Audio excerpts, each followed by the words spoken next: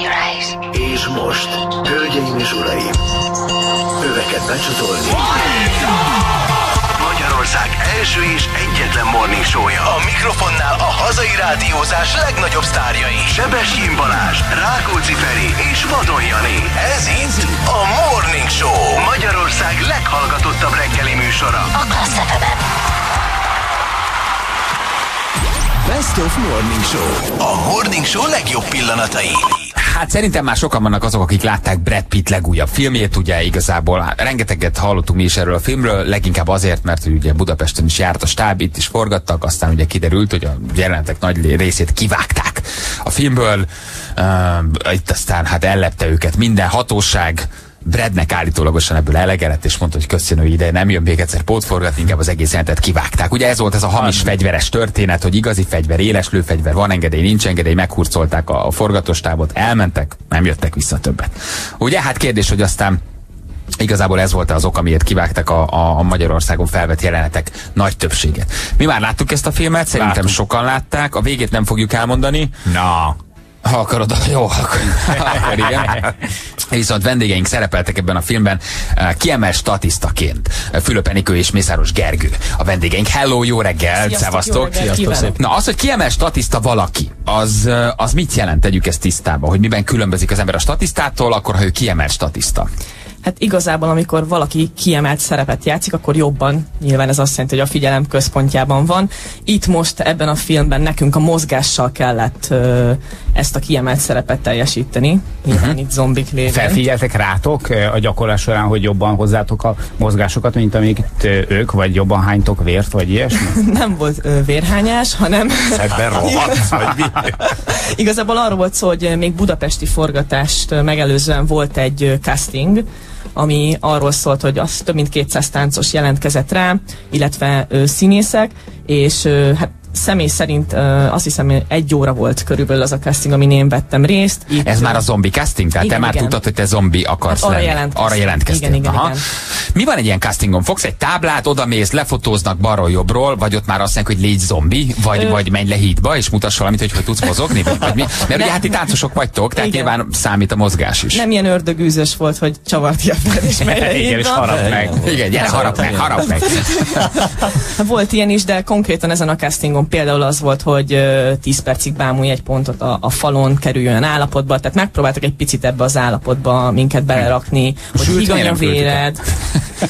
Ilyenek igazából. Távolod kellett egy pontot. Igen, És igen. ott ül mondjuk hat amerikai az asztal másik Nem. oldalán, vagy egy ember egy kamerával vesz föl, és azt küldik ki mondjuk a, a stáb többi részének. Ö, Hát lényegében igen, tehát hogy volt ö, nyilván egy magyarországi ö, felelős, egy koordinátor, aki nekünk segített, és ö, a Baranyi Katalin ő segített nekünk, illetve volt egy ö, koreográfus, az Alex Reynolds, és neki az asszisztense a Charlie, hogy hívták? Így van. Charlie? Charlie. Charlie. Charlie, Charlie. ilyenben is. Látszat eredetében nő volt. Bármit mondhatok, elhisszük. Bármi lehet Charlie vezeték, vagy utóneve, el fogjuk hinni.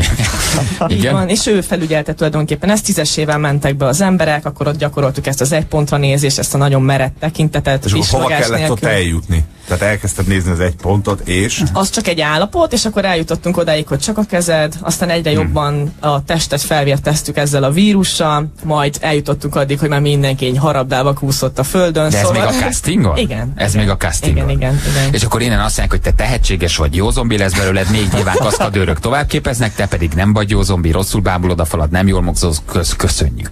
Tehát nagyjából ez a válogatás. Igen. Uh, hova kellett utazni, vagy hol volt a forgatás? Veletek a magyar részeket ö, vették föl, vagy külföldre is mentetek? Külföldön is voltatok, nem? Voltunk külföldön is, de ez a pótforgatás volt. Tehát először a kőbányai koncertgyárban forgattunk. Uh, ez a, Milyen, milyen, festői helyszín, Igen, kérem ami egyébként a hírekkel ellentétben szerepel a filmben, de nem árulom el a, a titkot, mert akkor el- elmondanám, hogy mi a vége.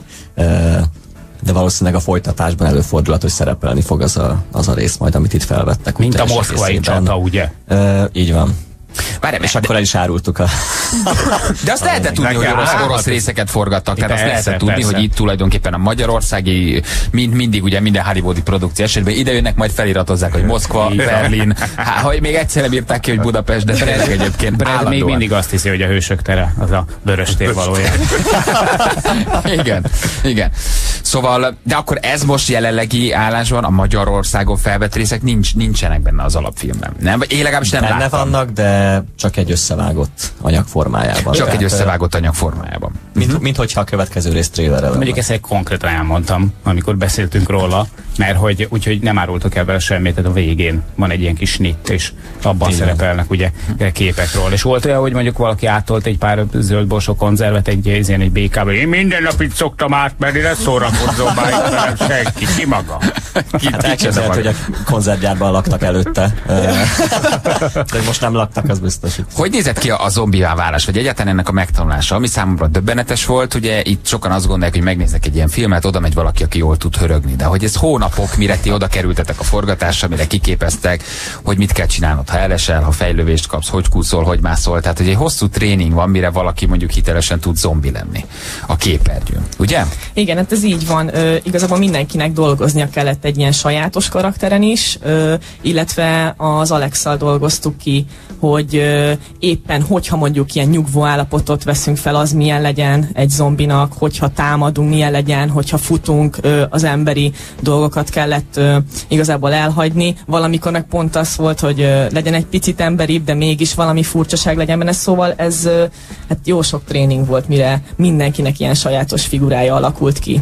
Uh-huh, és persze ebben segített például az Andy, aki ö, azért volt felelős, hogy itt a, a vizuális, tehát a megjelenésben segített nekünk, hát illetve a rendező és a forgatókönyvíró is sokszor ö, instrukciókat kaptunk, hogy na, ezt szeretnénk látni, ezt most annyira nem, tehát ők segítettek ebben. Igen, hát vannak a közhelyes zombi karakterek, de hogy ez a film ez kicsit elszakadt ettől, tehát szerintem egyébként ezért is jó, mert ez a fajta zombi ábrázolás, hát mondjuk te vagy a nagy zombi fogyasztó, Jani, de hogy ilyen típusú rángatózás, ilyen típusú mozgás, egyébként nem így mozogtak a legtöbb filmben. Tehát ez egyfajta egyedi, vagy ez nekem nagyon tetszett. Kicsit máshogy mozogtak, meg mások voltak, mint a legtöbb Hát, igen, zombi igen. filmben. A, a Zack Snyder féle Holtak hajnal a remake óta a zombik begyorsultak. Tehát, hogy, hogy most már nem ez a, a George Romero féle ilyen kis vonszolós, de az már nem annyira béna lenne. történet van. De az is jó, az is jó egyébként, de ez tényleg ez az old school vonal. Meg ez, ezek a fertőzöttek, ezek, ezek már ugye gyorsak, gyors az átváltozás, és akkor ilyen hiperősebességre kapcsolatban üldöznek mindenkit. Szerintem egyébként, ahogy én megnéztem a filmet, nagyon sokan alábecsülik ezeket a dolgokat, mert hogy, hogy jaj, és akkor mit kell ebben eljátszani, eh, semmi az egész oda, még ezt eljátszol, vagy akkor ez átfel. Nem. Láttam benne egy ilyen átváltozást, például egy ilyen néhány másodperc, ez 10-11 másodpercnél, te is biztos emlékszel, az az utcai átváltozás egy autó mellett megharapnak egy Ez srácot. még az elején. Ott olyan mozgáskultúrával adta elő a fiú Ő ezt az az átváltozást. Ő volt az egyik koreográfus. Igen, Ryan. hogy elképesztő volt. Külföldön tréningeztünk. Ugye csak mondjuk el, hogy miről szól, ott ugye megharapnak valakit az utcán, és Brad hátra néz, miközben menekül, és azt, azt próbálja megfigyelni, hogy a normál hétköznapi emberből mennyi idő alatt lesz zombit. Vérprofi a csávó, már miközben menti a családját, lenyúl a egyetlen hátra néz és nézi, hogy mennyi ideje van elmenekülni majd, amíg a civilből zombi lesz. Emberünk leveti magát a földre, ugye elkezd a vírus dolgozni, mint egy jóféle C-vitamin a szervezetében, és hát tulajdonképpen pillanatok alatt zombi lesz. Brad figyeli, hogy mennyi az idő, az ember zseniális. Döbbenet, döbbenet. Kicsit rángatózik a keze, aztán csak a felső teste, aztán csak az egyik lába. Tehát ez hihetetlen. Egyébként tényleg, most, hogy mondod, ez döbbenet. Ő volt a ti koreográfusotok? ő is segített nekünk, igen, felkészülni, például a kinti forgatások alkalmával. Hát ő vérprofi a srác egyébként. Á, De mi az, hogy vérprofi, hogy 20 éve zombi? Vagy, vagy ezt nem értem, hogy volt vérprofi Nem, hát a valaki ebben? mozgáskultúráján Ja, maga a látszik. koreográfia. Igen, igen. Aha. Hát ő táncos koreográfus, és ő találta ki ezt a karaktert, tehát az oktató videókon is őt néztük gyakorlatilag. Voltak erről oktató videók? Hogy de, Igen. persze. Milyen profi, profi azért ez az amerikai filmkészítés, nem? Hogy oktató videókat küldenek a kiemelt statisztáknak például, hogy mit kell megtenni. És akkor ott volt az egyes, nem tudom, jogapóz, kettes híd, rászanákba kell, le volt vezetve, hogy hogy, hogy, kell, hogy kell zombivá válni? Hát nem volt így kommentelve, de igazából kaptunk, igen, különböző, tehát pont erre, hogy milyen egy támadás, Szituáció. milyen egy átalakulás, azt is gyakoroltuk ugye sokszor, hogy És hogyan. kirakosgatták be a kazettákat, hogy na ez itt Charlie Sheen az elvonon, de nekünk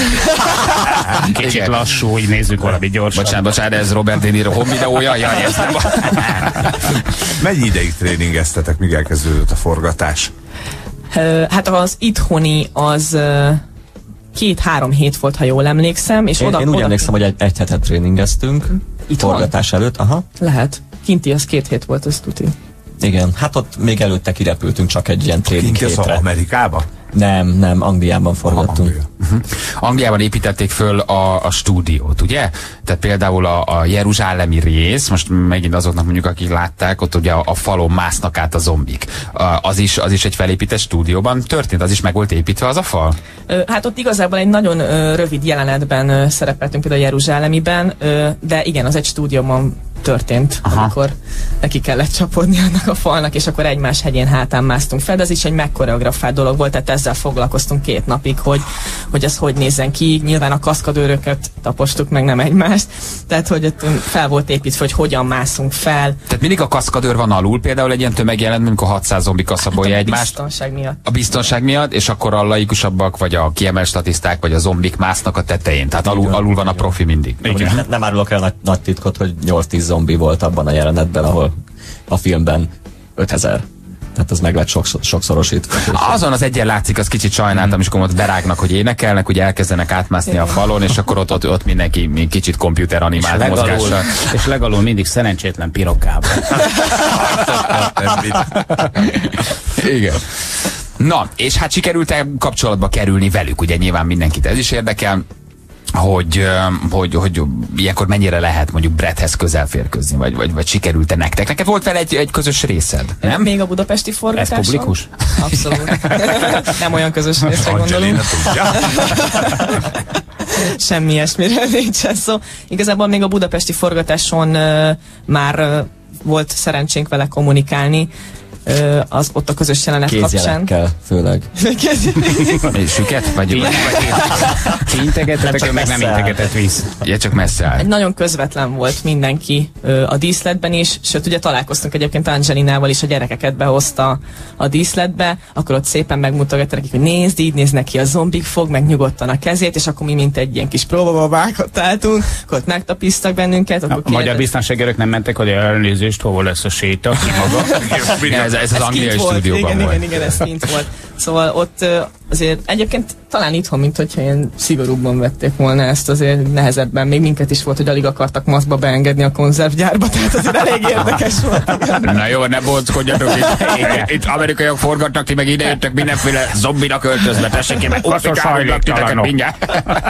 Tehát kint az angolok például lazábbak azért ilyen téren? Ö, hát ott is megvan nyilván ez a biztonsági előírás, de ott mindenki tudta, hogy mikor érkezik, hova jönk, tehát azért ott nem tudom, Hát volt ott azért volt más, mert ott azért stúdióban forgattunk, Igen. tehát ott, ott ha bele, aki belépett az ajtón, az uh, nyilvánvalóan forgatni jött. Tehát uh, ott is túlestünk azon a procedúrán, hogy ami effektíve a beléptetés jelentette. Na most egy-egy ilyen leállásban például, amikor ott vagytok itt Brett körül, akkor így oda lehet menni, hogy hm, hello, szívunk egy cigit, nem? Hát, Ah, igen. Ah, Mit tudom, csak kér- kérdezi az ember, ugye nyilván, vagy ők ilyenkor kivonulnak a szedből, ugye vége a forgatásnak, mondják köszönjük ennyi, abban a pillanatban visszamegy lakókocsi, mint Charlie Sheen három playméttel, és megjelenik, egy óra múlva totálisan beállva, hogy megcsinálja a jelenetet. Tehát, hogy, vagy ilyenkor ők ott maradnak bent, jönnek, mennek, ott kajálnak veletek. Most nem csak Bradre gondolok, nyilván hát ő kiemelt, de mondjuk a többi színész, vagy a, vagy a Bradnek a felesége, tehát akik mondjuk nem akkora sztárok. Hát a többiekkel ők szinte velünk voltak. Ö, Brad meg néha bennmaradt a díszletbe, néha nem igazából, de inkább a, a laboros jelenetnél volt az, hogy a gyerekeket például körbevezette. Tehát a saját gyerekeit fogta, néz, megmutattam, hogy hol forgat apu, és akkor így körbevezette. Nagyon-nagyon ilyen családcentrikusnak tűnt, ott megszólítottuk, beszélgettünk vele egy pár szót, tehát hogy abszolút közvetlen volt. Azt Kaptunk tőle hat üveg Dom Perignon, Komolyan? Igen? Csak hatod. Nem, Hermi. nem ízlet. Rohadt soha. De mi a igen, kapott és nem szereti, vagy mi történt? Azt jól érzem, hogy az ilyen belső jelentek, meg zárt jelentekre, ahol nem nagyon tudnak, meg nem is akarnak mondjuk cégét használni, ott, ott sokkal több a gyakorlás, sokkal ö, többet foglalkoznak veletek, sokkal jobban odafigyelnek a részletekre, mert ugye ez a laboros jelenet, ez, ez gyakorlatilag egy, egy belső, belső szituáció volt, egy ilyen belső helyszín, és hát ott nem lehetett berakni semmiféle trükköt, ott ténylegesen kőkeményen el kellett játszani a zombit. Hogy ott arra nagyon sokat készültetek külön? Igen, hát a, ott konkrétan meg is volt, hogy ö, megnéztek minket, és akkor úgy állították be, hogy most akkor te itt állsz, neked akkor ezt kell, mert ezt te nagyon jól csinálod, és akkor ott úgy voltunk, úgy voltunk felállítva, hogy ki mi az, amiben jobb. Mivel ott egész közelről ugye, láthatóak vagyunk, ezért megpróbálták minél előnyösebben beállítani ezt a dolgot. Felismerhetők Ennek vagytok egyébként? annyira jó volt, hogy egymás után háromszor is fejbe lövik a filmben. Igen.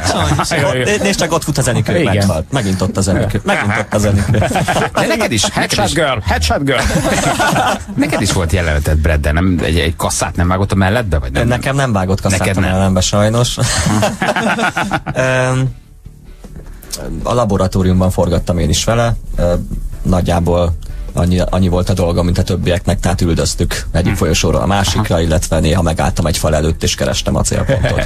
Igaz az, hogy, igaz az, hogy ott mindenki magyar volt kivéve egy ilyen, azt a, a belső kis jelentet, amikor ugye a vakcinát keresik. A labornál? Igen. Kérdezed? Uh-huh. Hát a zombik, igen, illetve volt még két kaszkadőrünk, aki, illetve nem magyar kaszkadőr volt, hanem azt hiszem a Ruda ő cseh kaszkadőr volt, és a Florian, ők azok, akik szintén vannak egy jelenetben, amikor ott elég csúnyán fejbe találja hátulról, és így lefejeli a falat. Van az Aha. például azt egy kaszkadőr csinálta. Egyébként rajtuk kívül csak magyarok voltunk zombik, illetve van egy laboratóriumi jelenet még, ahol a Asszárá, ő a, a Csajci látható, amikor be van zárva egy Be üveg van mögött. zárva az afroamerikai csaj, igen, a fekete igen, csaj. Ez, igen. ő egy híres angol Táncos. táncos, énekes, igen, igen, Igen. igen. Ez zseniális egyébként, ahogy őt néha így mutatják, és Igen. ott úgy, úgy folyamatosan vicsorog. Tehát akkor a vége labor jelenetben rengeteg magyar uh, zombi van Ez tulajdonképpen? Igen. Igen, ők csak magyarok. Gyerekek, hát tehetséges zombik vagyunk. Na, vagyunk. tessék? Ott vagyunk a zombi filmiparban Hát ezért ez egy nagy dolog. Hány óra? Hány óra volt, míg beültetek a nulláról semmibé? Hát én négytől a hat óráig mondjuk. Hat órán keresztül kellett minden nap bent ülni a székbe, hogy zombik legyetek? Így van, de ez mondjuk attól is függött, hogy ki milyen, ki milyen maszkot kapott. Tehát volt, aki, volt akinek az egész fejét, sőt, még a testét is megcsinálták. Míg ez Baló Györgynek egy óra alatt sikerült. Igen. Gyuri bácsi, köszönjük. Csak egy kis szemceruza és meg vagyunk. Gábor, Gábor Zsazsának pedig csak annyit mondanak, kész! És most kapcsoljuk a külső kollégát egy percben. És akkor titoktartás, itt például aláíratnak veletek, hogy x ideig, amíg a film nem kerül forgalomba, vagy azután még 15 évre nem, nem, nem nyilatkozhattok, mert ha megszegitek, akkor jön Brad és elpopsiszt titeket. Egyenként keresve minden megszegek. Most elárulok mindent, csak jöjjön már a Brad. Um, szóval, hogy van ilyen, van ilyen titoktartási szerződés. Hogyne, hát a, a premierig ugye semmiféleképpen sem juthat ki semmi, uh, illetve utána is azért még nagyjából monitorozva van, hogy milyen információk szivároghatnak ki, aztán uh, nyilván lesz majd egy pont, amikor azt mondják, hogy jó van, köszönjük, akkor innentől kezdve mindenki azt csinál, amit akar. Uh-huh. Na és milyen pari a Brad egyébként? Szóval, hogy női szemmel, mondhatod pasi szemmel is, nem tudom, hogy... hogy Akkor miért a bugászra mennyire vizsgáltad. Hát megkérdezem, mit Szemmel is keresett. mutat rám, tudod. Hát, hogy ugye hát nyilván, nyilván egy szép férfi, azért ezt így mindenki tudja róla, meg a filmben is jól néz ki, de tényleg jó pali? Tehát érezni azt a fajta kisugárzást? Hogy, ja, jól néz ki, szép, de mondjuk nem, nem az eseted, vagy, vagy te, vagy te más. kisugárzása. Igen, igen, meg nagyon-nagyon fitten aurája. tartja magát. Tehát, hogy meg azt gondolná az ember, ugye sokszor csalódik, amikor ö, mondjuk forgat, hogy ú, milyen alacsony, fú, milyen magas, meg, tehát nem azt gondolnád, és amúgy meg nem, tényleg van ilyen. Milyen magas. Nem, tényleg, hogy, hogy öm, nálam magasabb, én azért 178 cm, vagy 183-4 cm, tényleg rendben van ott izomzatügyileg. Most kicsi azért le volt eresztve, nem? Úgy érzed, Gergő? Picit meg volt rogyva? Hát mikor így mellé álltam, akkor úgy. Beizmosodtál kicsit, meg, megizmosodtál mellette. Mi? Tehát, hogy jó, jól néz ki. Igen, De igen. 50 körül van már, nem? Igen. A pali. Egész pontosan 50 vagy 51 49, éves. azt hiszem. Igen? Igen. Na, halljátok, 50 srácok? körül. Lassan ti is van 50 felé mozogtok, csak mondom, hogy van remény. Mi is egyre jobban nézünk. És ilyenkor benneteket felveszek egy listára, ami alapján mondjuk a második rész, amit a Jani is kérdezett, vagy bármilyen más hollywoodi produkció, tehát be lehet kerülni úgymond valamennyire a körforgásba. Nyilván nem főszerepre gondolok értelemszerűen, de hogy mondjuk ebben ügyesek voltatok, bekerültek egy nyilvántartásba, és akkor innentől kezdve még az embert hívják. Hogy volt egy lány, aki, aki, akinek annyira ment a fejlője. Annyira jó volt benne. Igaz, hogy szétlocsant a fej, zseniális volt. És úgy mentetek moziba a haverokkal, hogy néztetek, és ott vagyok! Igen. Nézd meg! Én pont akkor veletek voltam, egy pacák mindig ott üvöltözött. Én meg, én vagy. Mondjuk azt simán el tudom képzelni, hogy mama leülteti a gyerekeket. Na, üljetek le, de te nehogy kiesd a popcorn, mindjárt jön apa. Igen. Volt ilyen, hogy Hát úgy néztétek magatokat? egy hátsó sort a premierre, beültünk, hogy tizen zombik, és, és halálra rögtük magunkat. Az milyen szar, amikor azt látod, hogy egyébként utána behívod a haverokat, és pont téged kivágtak, Aha. nem? Menj már, hol vagy te benne? Te mindjárt, mindjárt, mindjárt, hogy is kát, és az is semmi nincs, és utána ugrás a Mondjuk biztos, hogy hátra sétáltam volna ott, röhögnek mögöttünk. Tudod, de hát és ez mekkora az ott én vagyok én. És akkor hátra egy gyerekek, picit halkabban már mi is ugyanígy fizetünk egy gyerek. De én szerepeltem erre. Jó, tényleg. Angelina milyen volt? Cuki volt? Aranyos volt? Kedves volt? Vagy ő azért egy kicsit távolságtartóbb? Róla lehet azt, azt mondják azért, hogy ő így, így, azért így egyrészt nagyon fogja Bredet, állítólag meg, hogy ő azért így nagyon. Ebből mi nem érzékeltünk semmit, nagyon közvetlen az egész család. Uh-huh. Úgyhogy Gyerekek cukik? Nagyon, nagyon édesek. Aranyos. Hány gyereket hoztak el a 30-ból? hát konkrét bölcsödék van már. Szerintem hatan volt. Mi- Mindez, hogy gyerek, de, de cukik egyébként, és akkor oda azt körbe. hiszem, hogy hatan vannak egyébként. Igen. Szerintem ott voltak mindannyian. És Angelina is cuki volt? Helyes Nagyon, volt? nagyon. Aha. Hm. És mit fizettek? Kinti Ja, egyébként erről beszéljünk egy pár, egy pár szót, jól fizettek? Tehát, hogy mondjuk Nem kell egy konkrét átlag, összeget, csak persze, hogy- csak, hogy- csak úgy általános, hogy mondjuk egy átlag magyar fizetéshez képest, mondjuk egy minimál bérhez képest, ez jól lóvé volt? Hát zárjuk rövidre. Jó. Király, Figyelj, a hallottál? kiemelt statiszták azért azok már, azok már, mert egy napi statiszta is egyébként egy hollywoodi produkcióban már magyar viszonylatban nem keres rosszul. Na most aki kiemelt statiszta, vagy ennyit dolgozik, az már, az már azért jó pénz. Igen, igen. Volt valami tombola a végén, amikor így bedobáltatok pénzt, és akkor valaki ezt megnyerhette? Hát ilyen szokás, hogy ott a forgatás ö, utolsó napján, vagy utolsó előtti napján, ö, azt hiszem 5 fontot dobáltak be, hogy, ö, de amúgy, hogy operatőrök mondjuk ö, voltak ö, mm, Sminkesek. mindenki, szinte sminkesek, mindenki, és mivel mi már előbb ö, ugye sminkbe mentünk, és minket hazaküldtek az esti parti miatt, hogy le tudjunk zuhanyozni, hogy ne hiányozzunk, és, és akkor a Brad ö, állítólag a nevünkbe mi voltunk a budazi, és a mi nevünkbe bedobta ezt az öt fontot, és egyébként mi hoztuk el, tehát minket húztak ki, úgyhogy a taxira jól jött igazából, nem? Jó, hogy mindenki bedobott pénzt, és aki, aki megnyerte, az megkapta az egész stáb által összedobott Igen, pénzt. És igen. ezt És ti ti nyertétek meg? Igen, igen. Aha. Mekkora De mi nem raktunk be nyilván egy fontot. Megint a magyar mert- kérem szépen, a magyar Wirtschaft, nem tettünk be semmit, elhoztuk a nyereményet, mindenhol ott vagyunk. Tusolni voltunk. Tusolni voltunk, azért nem adtunk be, egyébként beadtunk volna. Bedobja, és mindenképpen jól járunk, akár bukjuk, akár nem is hozzunk. Nagyon jó. Nem, ez rendes volt egyébként itt tőle, tehát mi nem tudtuk, hogy van ilyen. Abszolút. Persze, mi csak oda mentünk, körbe táncoltuk a húsos fazeket, aztán és, és elhoztátok a pénzt, és elbulisztátok. De ez a Brad milyen szimpatikus gyerek, Rendes, nem? fizette De azt, hogy magyarok zuhanyoznak, bedobom helyettük az öt fontot. De ezért ez egy, ez egy nagyon szimpatikus. Na jó van. Hát más szemmel fogjuk nézni akkor ezt a Én filmet. miattatok megnézem még egyszer. Én már kétszer Pedig nem terveztem. Kétszer láttam már, úgyhogy hát csak te repülőgépen kell De te nagyon megnézted figyelni az enyémet is. laborat. Azért nézted Kíváncsi vagyok. nem. A, re, a repülőn is ott. Igen, igen, azt Ott elszabadul a pokol, annyit elárulhatunk, hogy a repülőtéren csúnya, kevésbé kompromisszumkész zombik vannak, akik ott se nagyon akarnak. Ott vagytok mind a ketten? Igen, igen. Hátsó részben, amikor átnéz Brad a függöny mögé? Így van. Így. Aha. Az elég rövid ideig mellett támadunk be a koffereken keresztül. Én ugok át a Igen. Gergőn. És jöttök már át a, a békés Igen, részre? Így van. Aha. Az jó, az egy nagyon jó sikerült az arcunkba, és akkor úgy eltűnünk a színről a És ki is mentek a levegőbe? Te van, Így van. Szegény. Cso- Csodál a határos módon Brad túléli, valamint a Hogy, hogy, hölgy. hogy, hogy nem, persze, de hát ez innentől kezdve már nagyon szép. Na jól van, köszönjük szépen, hogy itt voltatok. Köszönjük a. Drukkolunk akkor, hogy, hogy legyen folytatás, és hívjanak. Az adás most felvételről megy. Balázs, Feri és Jani most pihen. Ha a téma ismerős, olyan, mintha már hallottad volna, az nem a véletlen műve. Itt a Best of Morning Show. Tegnap másfél órát kerestük a lakásba, és nincs maga sluszkulcsom. De hogy így sehol. Tehát itt tartok jelen pillanatban, és nem tudom, mit csinálják. Hogy csinálnak sluszkulcsot? Hát eb- úgy se, hogy, hogy nincs meg, mert ha egy van, akkor Ne, a... ne, ne, ne, de, ne, ne, de ne lemásolják, ne. hogy vigyem be- egy van, egy nekik, van, és az alapján be, elmondás Hát hát mi? Azt Az, hiszem, hogy hogy itt volt egy ilyen kis, igen, itt. Tudor volt itt, meg itt Középen végig egy vájat. Nem, nem mondd ezt, Léci, nem Tudod, mondd ezt. Lesz egy autókulcs nélkül, és ott fog lesz, állni és életem jó, de mondom, neked teljes zárt csere, plusz az indító is. Mindent újra ki kell cserélni.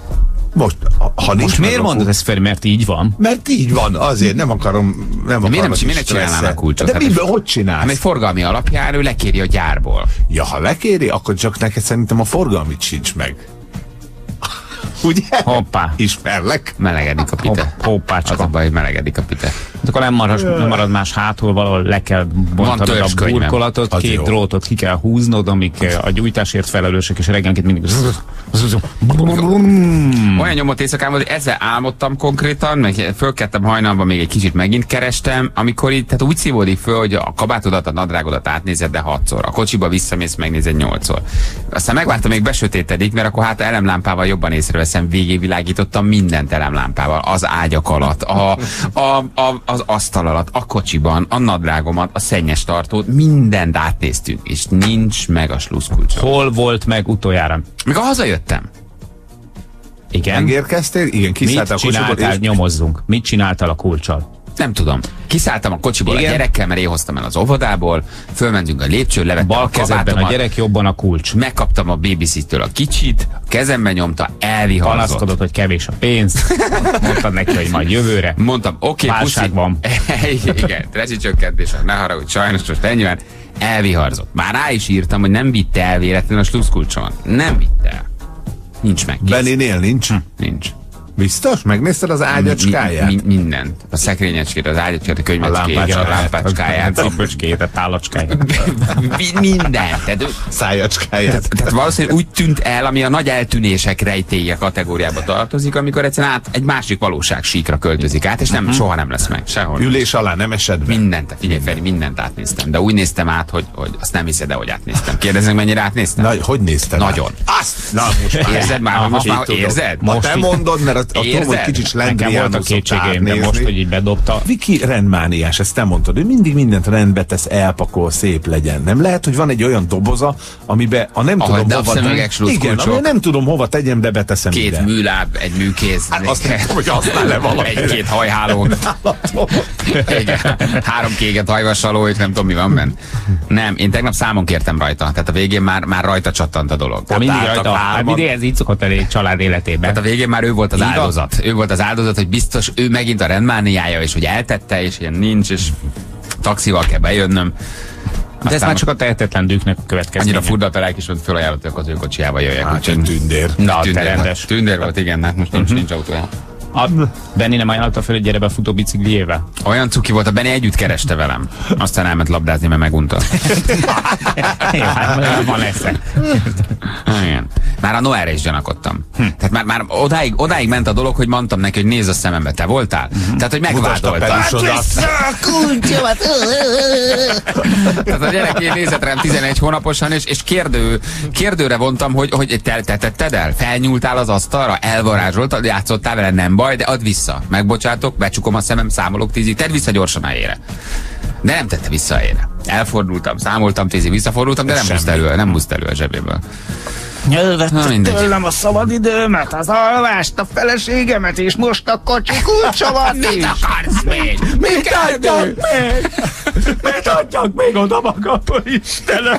És most, hölgyeim és uraim, Klassz FM hallgató, folytatódik Magyarország első és egyetlen morning show-ja. A mikrofonnál a hazai rádiózás legnagyobb sztárjai. Sebestyén Balázs, Rákóczi Feri és Vadon Jani. Ez itt a Morning Show. Magyarország leghallgatottabb reggeli műsora. Itt a Klassz. Best of Morning Show. A Morning Show legjobb pillanatai. Tegnap ugye a Vadas Parkban e, sétáltam kicsin családommal, nem jutottunk be a Vadas Parkba, mert egy elég nagy sisere had volt ott, idegesítő, kiabáló, 8-10 éves gyerekek, Mm, és nekem sok, megmondom őszintén, ilyen DAF buszokkal szállították őket, én nem tudom milyen nap volt a, a Vidám Parkban, de hát konkrétan 30 DAF busz állt a, a, a parkolóban, úgyhogy nem jutottunk be, viszont tettünk egy sétát, és felfedeztünk remek szalonnasütő helyeket. És azon gondolkoztam, hogy a szalonna vajon tudja, hogy szalonna? Vagy De hogy- nem. Szembe jött velem valaki, és elgondolkodtatásra sarkalt az ő jelenléte. Egy, körülbelül egy ilyen 100 kilós pacák volt, és ugye most már egyre többen hordják ezeket a haspólókat, inkább csajok, sokszor hát nem annyira előnyös testhez, de van, aki nagyon jól áll, meg pasik is, úgy, hogy nincsenek kigyúrva, vannak ezek az atléták, tudjátok? Mm. Hát, mi- persze, Igen, tud- tudjátok. Vidéki És uh, láttam valami olyat, amit én eddig nem ismertem. Magával a tetoválással kapcsolatban én, én azt gondolom, hogy elég felkészült vagyok, és tudom a, a trendeket. És erről a Wiki világosított fel utána, hogy ez most egy újabb trend, és ezt szeretném veletek megosztani, és megoldást találni Olyan rá, hogy információk a Wikileaks-től. igen. A Wikileaks segített nekem ebben, akivel, akivel ugye együtt sétáltunk, hogy állítólag ami most baromi nagy divat a tetoválásban, az a mandala. Ugye mindenki tudja, vagy sokan tudhatják, hogy mi a mandala, eh, milyen vallásban használják. Ezt most emberek feltetedik magukra tetoválás formájában. Emberünknek a vállán volt egy ilyen mandala-szerű képződmény, nem volt szép, de nem is ez a lényeg, hanem az, hogy ez most a 2011-es állítólagos tetoválási divat, a mandala. De hát miért nem kérdezed meg őt magát, Csabit, akivel összefutottál te?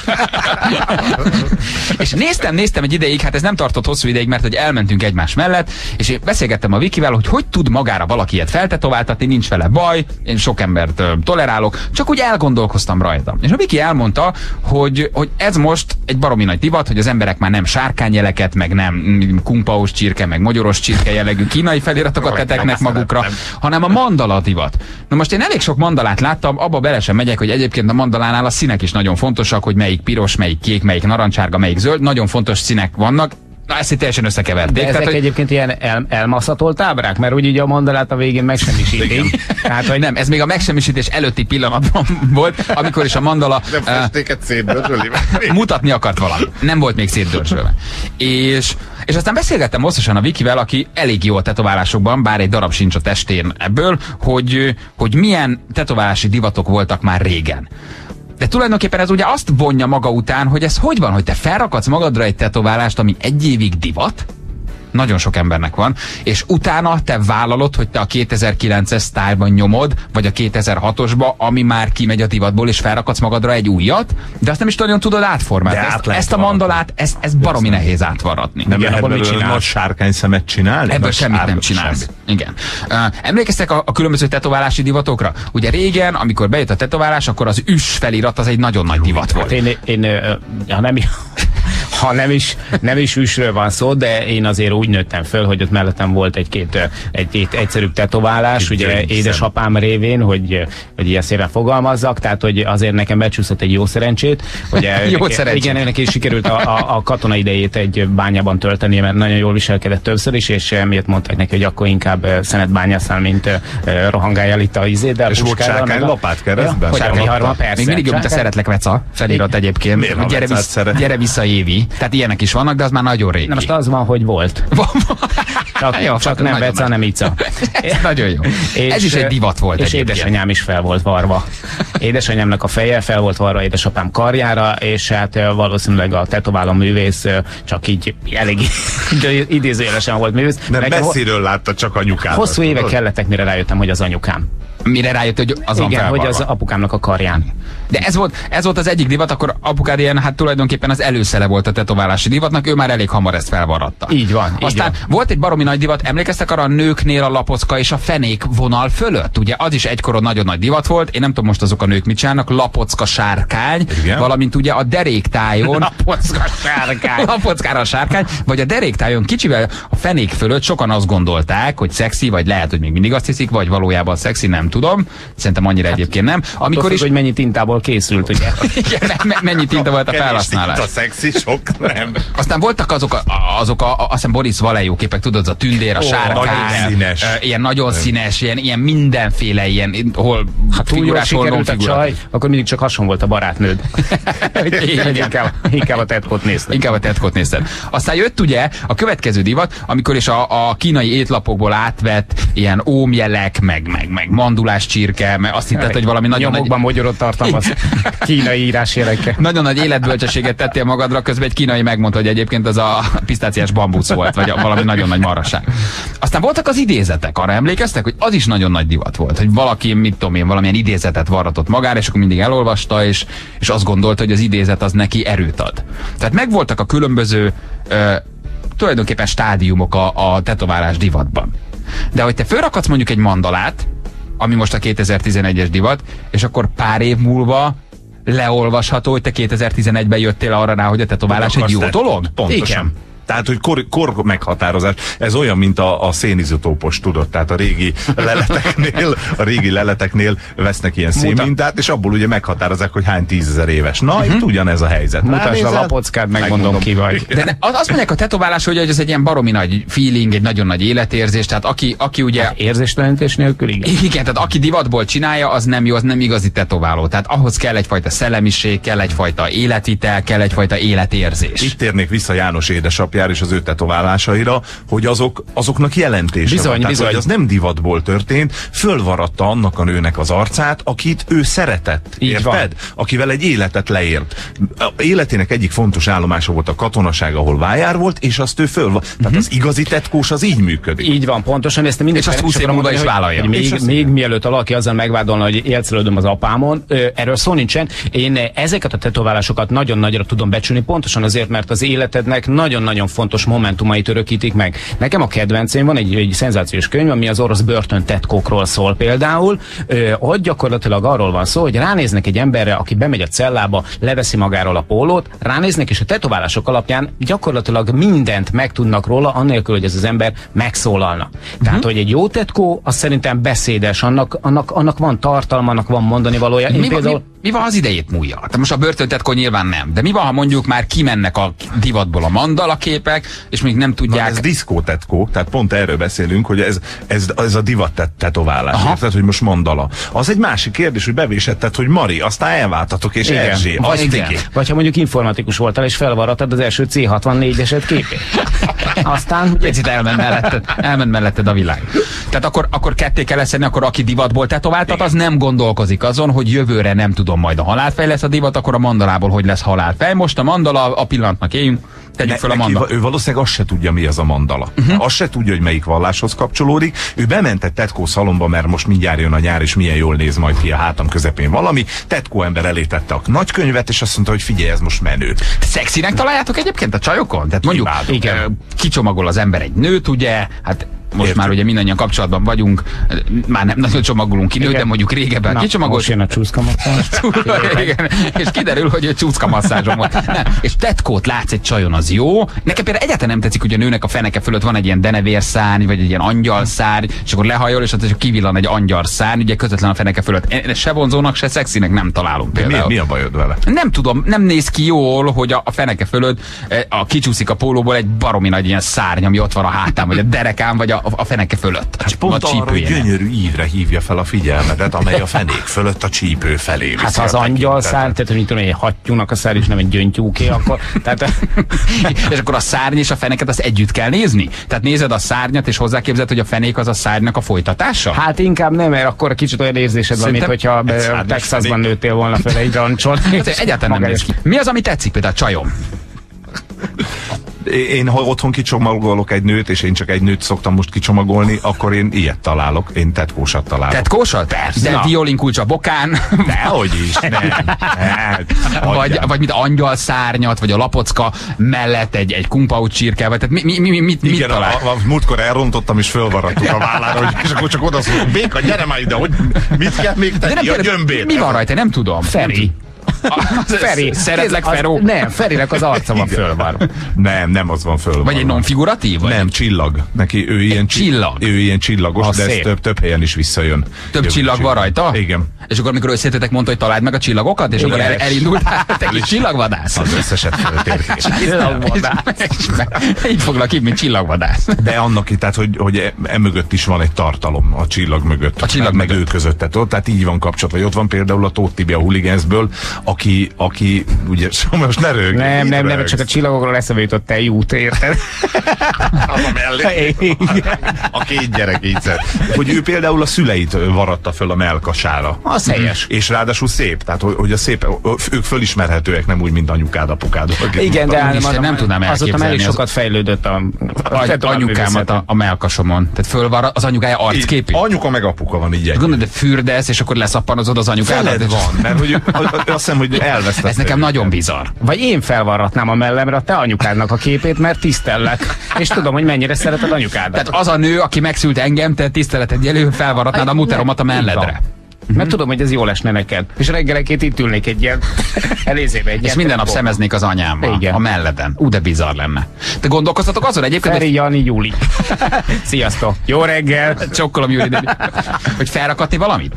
Én igen. Te fel akarsz rakatni Igen, valamit? én a két gyerek, már mi, mi meg is terveztük a, a békával, hogy a két gyereknek, vagy a két gyerekből kifolyólag egy, lesz egy felirat, meg egy ilyesmi. Tehát mondjuk összeteszitek a kezdőbetűket, vagy a neveket, és akkor abból, abból valamit? Igen. Uh-huh. Igen. Vagy az arcképeket? Nem, arcképet nem, mert ez kiskorban nem lehet. Hát most, fölvaratod, és egy év múlva már nem hasonlít. Egyébként ez modern, mert régen ugye gyertek, akkor vegyük elő a régi családi fotókat, és akkor így néztél ki fiatal, most pedig gyere a családi fotózás, hogy elkezdesz vetközni. Na, így néztél ki. ez voltál te, de ez jó Szerintem a, egyébként. a, a tetkó, ha, ha nem diszkóból csinálod, tehát nem azért csinálod, mert most divatmandalát fölvaratni, hanem jelentése van, üzenet, a, akkor azt jó magadon visel. Csak most gondolkozom, hogy mit lehet, tehát Soma és Panna, ugye? Uh-huh. Tehát nehogy az SP-t rakass el magad. Pedig. Azért az, félre, az, Pedig. az félreérthető lenne. Be, be, levet közül majd elmegyünk együtt zuhanyozni, és egy baromi nagy SP felirat van át, hogy Feri, mi? Megőrültél? Mi van veled? SP? Nem, nem, ez a gyerekeim. Persze a gyerekeim. Vagy vagy SP rajongó. Nem, PS. A PS az, az úgy jó a sor. Jani, neked? Hát, Neked nincsen mit semmi. rakatnék föl? Egy tetőcsomag tartott a Skodánkra. Nem. Én, e, figyelj, e, ezt, hogy Metallica kérlek, tehát nem ilyet, ugye? És egy, mit, egy, egy Miért? Metal villát. Megadeth forever, tehát nem ilyeneket. Nyitott könyv vagyok előtt. nem, nem, te nem sose fogsz felrakadni semmit. De ugyanakkor meg szimpatizálok vele, mert hogy tényleg a rockhoz ez hozzá tartozik, és, és, ö, és marha jó így nézegetni valakit, meg így böngészgetni, meg Jó, így kitalálni, hogy meg vagyunk akkor tulajdonképpen, tehát a Jani még nem, én nem, tehát itt egy ember van, aki fel akar magára tetetni valamit, az Feri. Ugye? Hát van, van, egy, van egy terv. Tehát Van egy- van egy terv. még nem, hogy most így elindulok. Van nekem is egy tervem egyébként. Jézusom, miért kell? Miért, miért pofázok? kitalál- Miért nem tudok kúsba ülni? Miért nem mondtad azt, hogy nem akarsz? Jézus. Ha, ha csapatjátékos vagy, felrakod a Morning Show logóját. Egész jó vagy. Az egész hátadra, de szép lenne. Nem. Nem akarsz, nem akarsz felrakadni engem magadra egy pöty formájában? Mi van? Tehát, a gyerekeimet azt még nem, de téged már igen. Ne, azt, hogy rakja, rakjál fel, varjunk rád föl egy pöttyöt, De miért egy olyan pöttyöt, ami, amiről mindig én fogok eszedbe jutni, és felvarrod mondjuk a bal alkarodra, vagy ide a bicepsedre, Jó, tudod, és lesz egy pici fáj? pötty, és mindig ránézel, és én fogok róla eszedbe jutni. És én ott leszek a te testeden, és megkérdezem, hogy mit csináltunk két Én nem akarom, nem akarom, hogy a testemen légy. Mit csináltunk hétvégén? Vagy rakjál föl két pöttyöt, a bal karodra a Janit, a, a, a jobb karodra nem csak a... Fú, Feri, most én is ugyanazt érzem, hogy te. Ez már annyira beteg. nem, Nem, nem. tehát, tehát próbáljuk ki, hogy milyen első tetoválásod lenne, nem? Első. Ha azt mondod, hogy jó, akkor én is felrakadlak téged, mondjuk egy nem tudom, egy pici pöty formájában mondjuk a sarkamra, érted? És mind a hárman ott leszünk egymásnak pöty formájában. Én nem, akarok, nem akarom felrakni, hogy Feri meg Jani, tehát ezt nem akarom felrakni. Én a És balin gondolkodtam. Elmegyek zuhanyozni, megmosom Jani. Beszapanozod, Jani. Beszapazom, Feri. Jani, gyere Jani. meg, moslak, gyere Janika, jaj, de koszos vagy. Nézzük, Ferike, hogy vagy? Jaj, Ferike, egy picit el vagy itt anyátlanodva, akkor a jobb bicepszemen, gyere meg, moslak, Ferike. Tehát lennének közös, bennünket összekötő, neveket szimbolizáló barátság pöttyök. Mi a helyszín, Feri? Ha te kezded, már pedig úgy érzem, te vagy az első, hova kerülök én? Balkar ide egymás mellé fogtok kerülni. Egymás mellett leszünk, egymás Jani? mellett lesztek néhány centire, hogy bármikor, amikor úgy érzem, akkor csak fölemelem a karomat, és jaj, egyet nem puszit. Nagyon fontos, nagyon jó, amit mondasz, hogy elérhető áll? helyen legyen, így van. Én is olyan helyre tetetlek benneteket, mert nagyon hajlékony vagyok. Nekem még kicsit lazítani kell, hogy a jobb farpofámat meg tudjam puszilni, de meg lesz. nagyon helyes. Tehát az asztalon ki van készítve mindenféle nagyon érdekes kis eszköz. Ezek nyilvánvalóan kellenek ahhoz, hogy ezt a, a kis műveletet létrehozhassuk, ezért kell itt a szike, a kénsav és a... Jézusom! Gyerekek, ebben a pillanatban Imre a, elővett egy akkora tűt, amivel konkrétan a hús szokták így összefogni, ugye Feri? Hát, Hát te, ez te egy tudod. saslik Így tű. van, így van.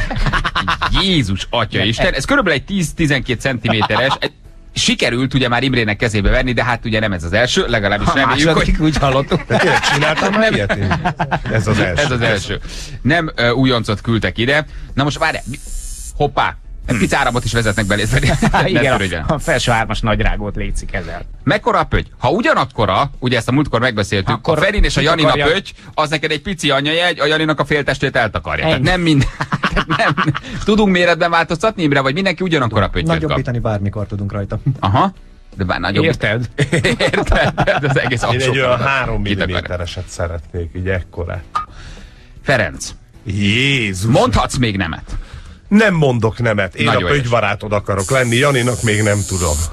De Feri nem mondja, hogy ez még egy sárkánynak a két szeme lesz, mert utána fölrak. Hát én- majd, majd egy picit, majd még egy, egy, egy, csináltad belőle majd egy naprendszer. Viccezel? Milyen? Kellemetlen? Semmi, ami bizserget. Bizserget? Bizserget. Jani annyira fáj, hogy besz. Tényleg? Nem Jó, áll. ebben a pillanatban Ferire, én szerintem fel is ment az első pötty egyébként. Ez nem egy... Várjatok, még kidolgozzuk a széleket. Ez semmi nem volt. Hú, meg- Figyelj, a, az a helyzet, hogy úgy kéne megcsinálni azért, hogy most a, most a Balást varod. A Balázs mindig jól fésült, mindig jól öltözött. Tehát ez egy szép szélű pötty Nem legyen. túlzol. Mondanám, hogy túlzol, de Ja, nem. de azért nem Azt is gondolom, hogy nem estél túlzásokba. És akkor a Janira kéne kitalálni valami más. Viszont arra megkérnélek, hogy ne legyen ugrabugráj közben, mert... Miért? Most Hát már most már egy háromszög. ja, bocs. Semmi baj, Feri, most már, most már a szája is megvan a sárkánynak, ugye? Jézus Isten! Hát figyelj, Ö, van egy kulacs. Rohagy meg, ez te vagy, te! Remélem nem. Remélem nem kapsz atyártya gyulladást. Na, mehet a Igen, már tényleg következő. csak egy lépés a lime Kérlek szépen, egy kis, mennyire akartok lenni egymástól? Ö, én azért este szeretnék nyugodtan aludni, tehát úgy, úgy legyek pögybarátja ennek, hogy este ne érjen el. Tehát ne tudjon átnyulkálni, ne tudjon felkelteni. Pali, alszol? Pali, alszol? Akkor egy kettő centi. Legalább legyen egy két centi. Figyelj, Feri nagyon nagy pöttyöket rakatod.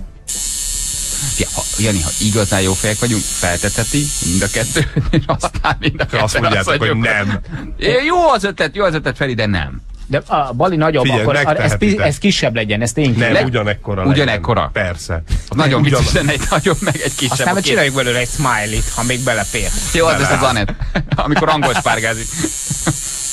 Hát, ö, fél srácok, ez, ez nem gyenge. Én azt gondolom, hogy ezt picit megint túlvállaltuk. Tehát, hogy úgy jobbofáskodtunk, jobbofáskodtunk, de amikor... amikor Belső kar. Belső, be, be, a belső kar. Most Nekem már biztos vagy én már a nagyon farpofánál tartok. A belső kar az nagyon fáj, ezt most szólok. Kisebb a bőr. Kibírom. Jó, gyerekek! Jaj. Hm, hogy elrepült az idő? Igen, hát, Sajnos már sajnos ezt már, már nem tudjuk megcsinálni. nem nagyon tudja. Ez még nála nem jelent semmit, mondjuk. Gyere, Jó, ez nála egy alapállapot. Kérlek szépen, íme itt vagytok. csináltok? Ezt nem hiszem el. Atya, Ez gyerekek, úristen. ez nagyon durván néz ki. Miért néz ki durván? Két pötty vagytok rajtam. Mi, mi van ezzel? Ez most olyan, mintha két szem, tehát egy száj nélküli ember. Egy száj nélküli ember figyelne. Hát ennyi, de most mi, mi, mi ebben a gáz? Azt Én azt hittem kisebbet, tehát ez nagyon beváll. Feri, te, te komolyan mondom, bevállalós vagy. Én azt hittem kisebb Hát pöttyökben majd gondolkozunk. majd ti tetetsetek Hátra tetettem a lapockámra, ott soha nem látja senki. De hogy nem, én mindig, mindig, Ja, mindig, igen, mindig mindig megnézem a lapockádat.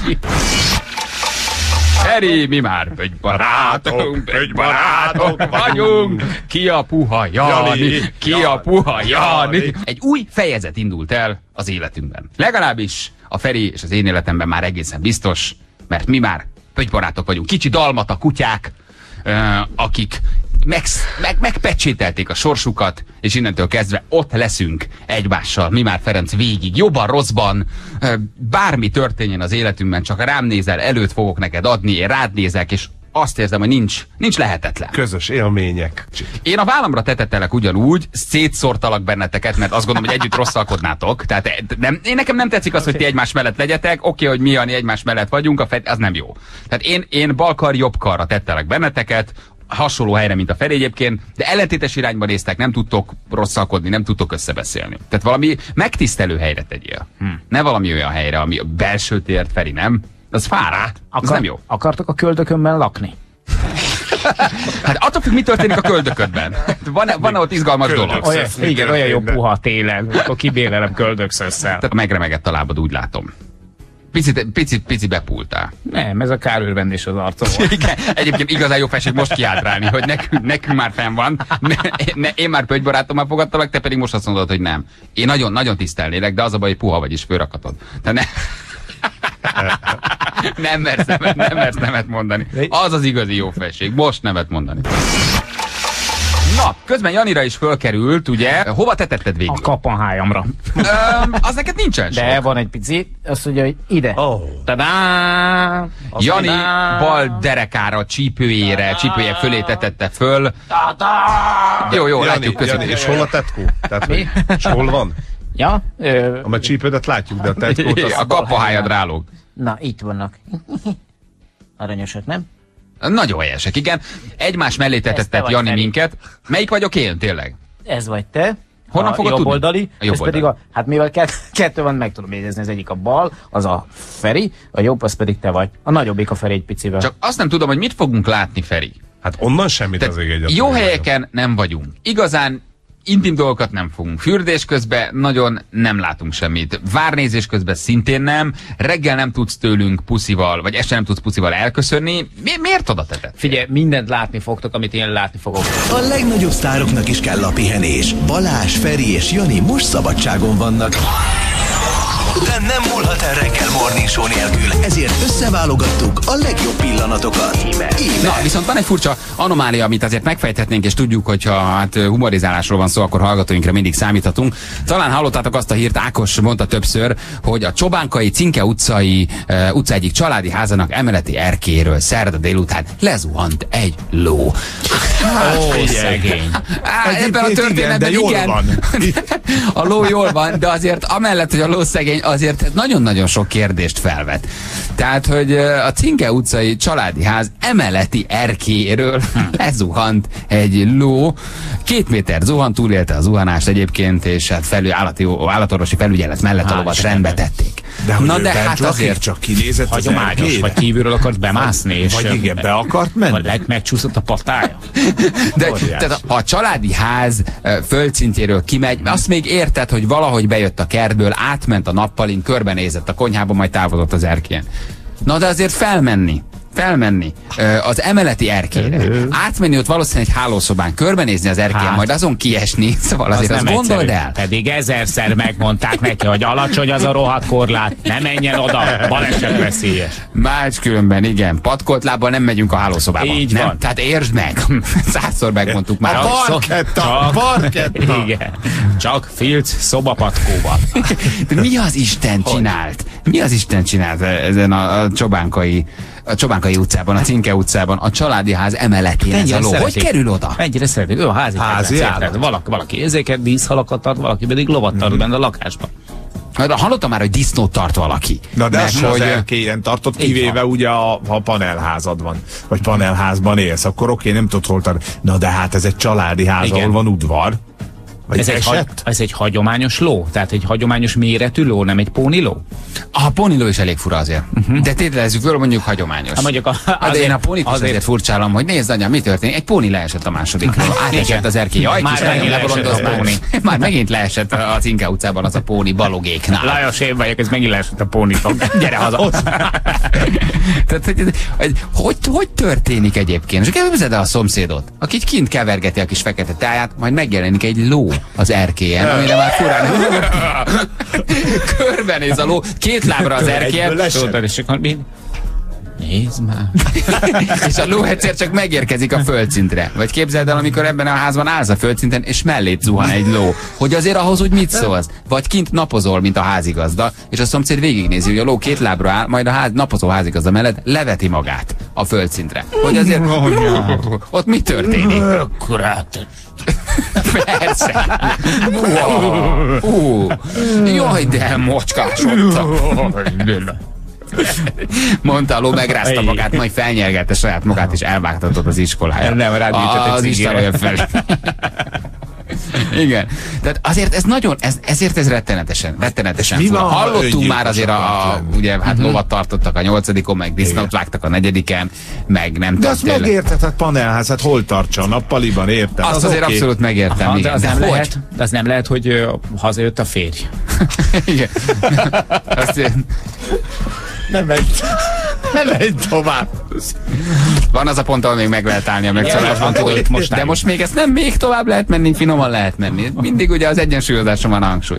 Tehát megjött a férj, és azt mondta, hol vagy drágám, egy órával előbb elengedtek? Mire a Itt vagyok, bent csak öltözködöm, mondta a felesége. És a ló érezte, hogy szorul a hulok. Hívlak.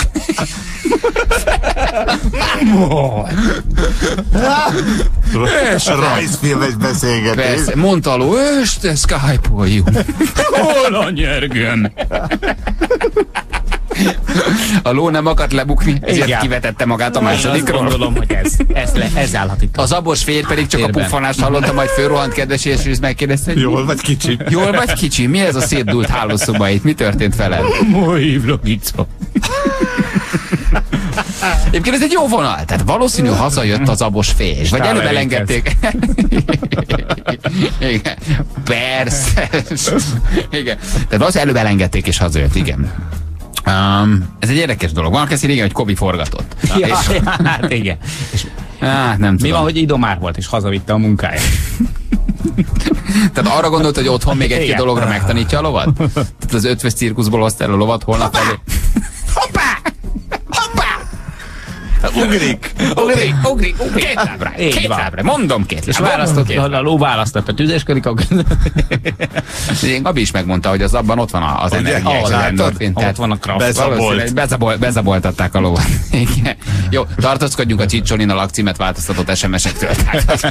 Tehát, maradjunk, maradjunk, maradjunk azért meg egyfajta gondolatmenetnél. Igen, ez egy érdekes dolog, hát segítsetek megfejteni, hogy mi történt, illetve egyéb furcsa, úgymond tényleg uh, szomszédos anomáliákat válunk, amikor is nem hittél a szemednek valami olyat csinálta a, a szomszédot. Tehát főzött a panelban a folyosón, vagy terelgette a disznót a liftben. Tehát nézzük meg tényleg, hogy ez valójában létezik-e.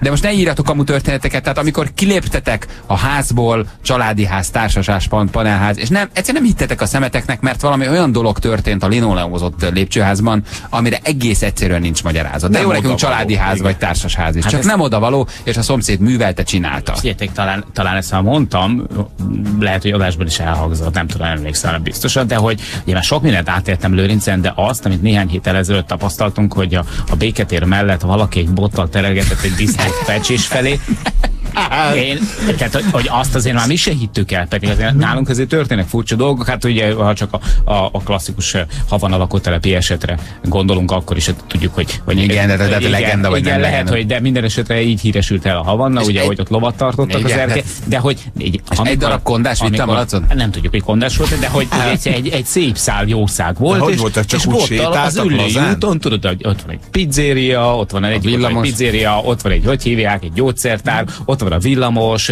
ott van egy, egy nagyon jó kis, hogy kondicionáló, terem, és egyszer csak valaki meg mennyi ma, hogy Nem lehet, hogy a malac azt mondta, hogy Jöjj, "Hm, gazdám, ennék egy jó sajtburgert. Legyen már be engem a. McDrive-ba, és mentek a McDrive-ba. És akkor hogy hívják, a Banki Market Central.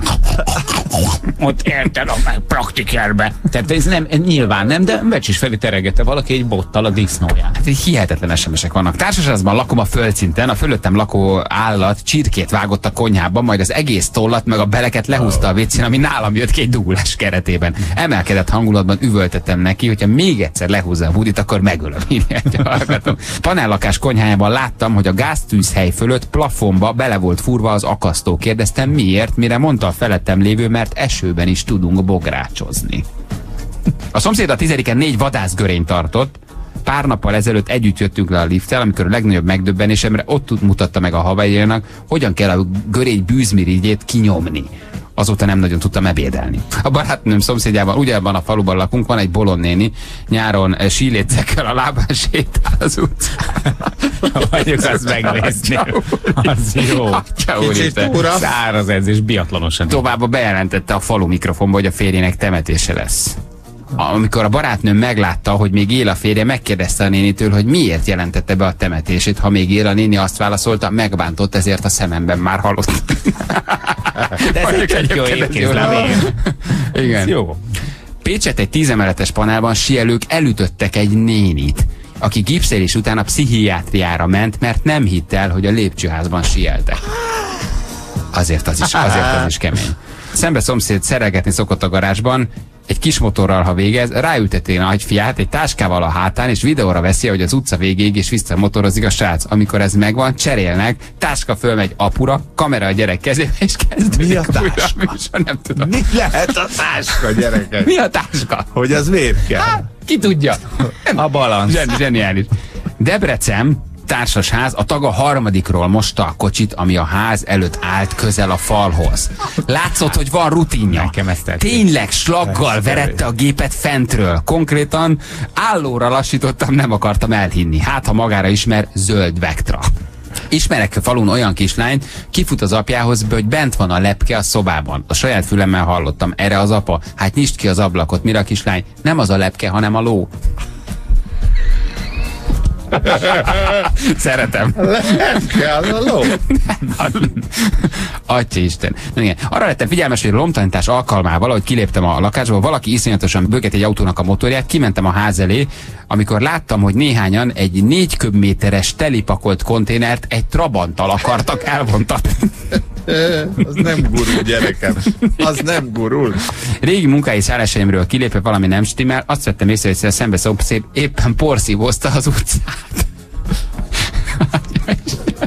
Azért sok a bolond, nem? Nagyon. De azért, aki porszívózza az utcát, azért ott van baj.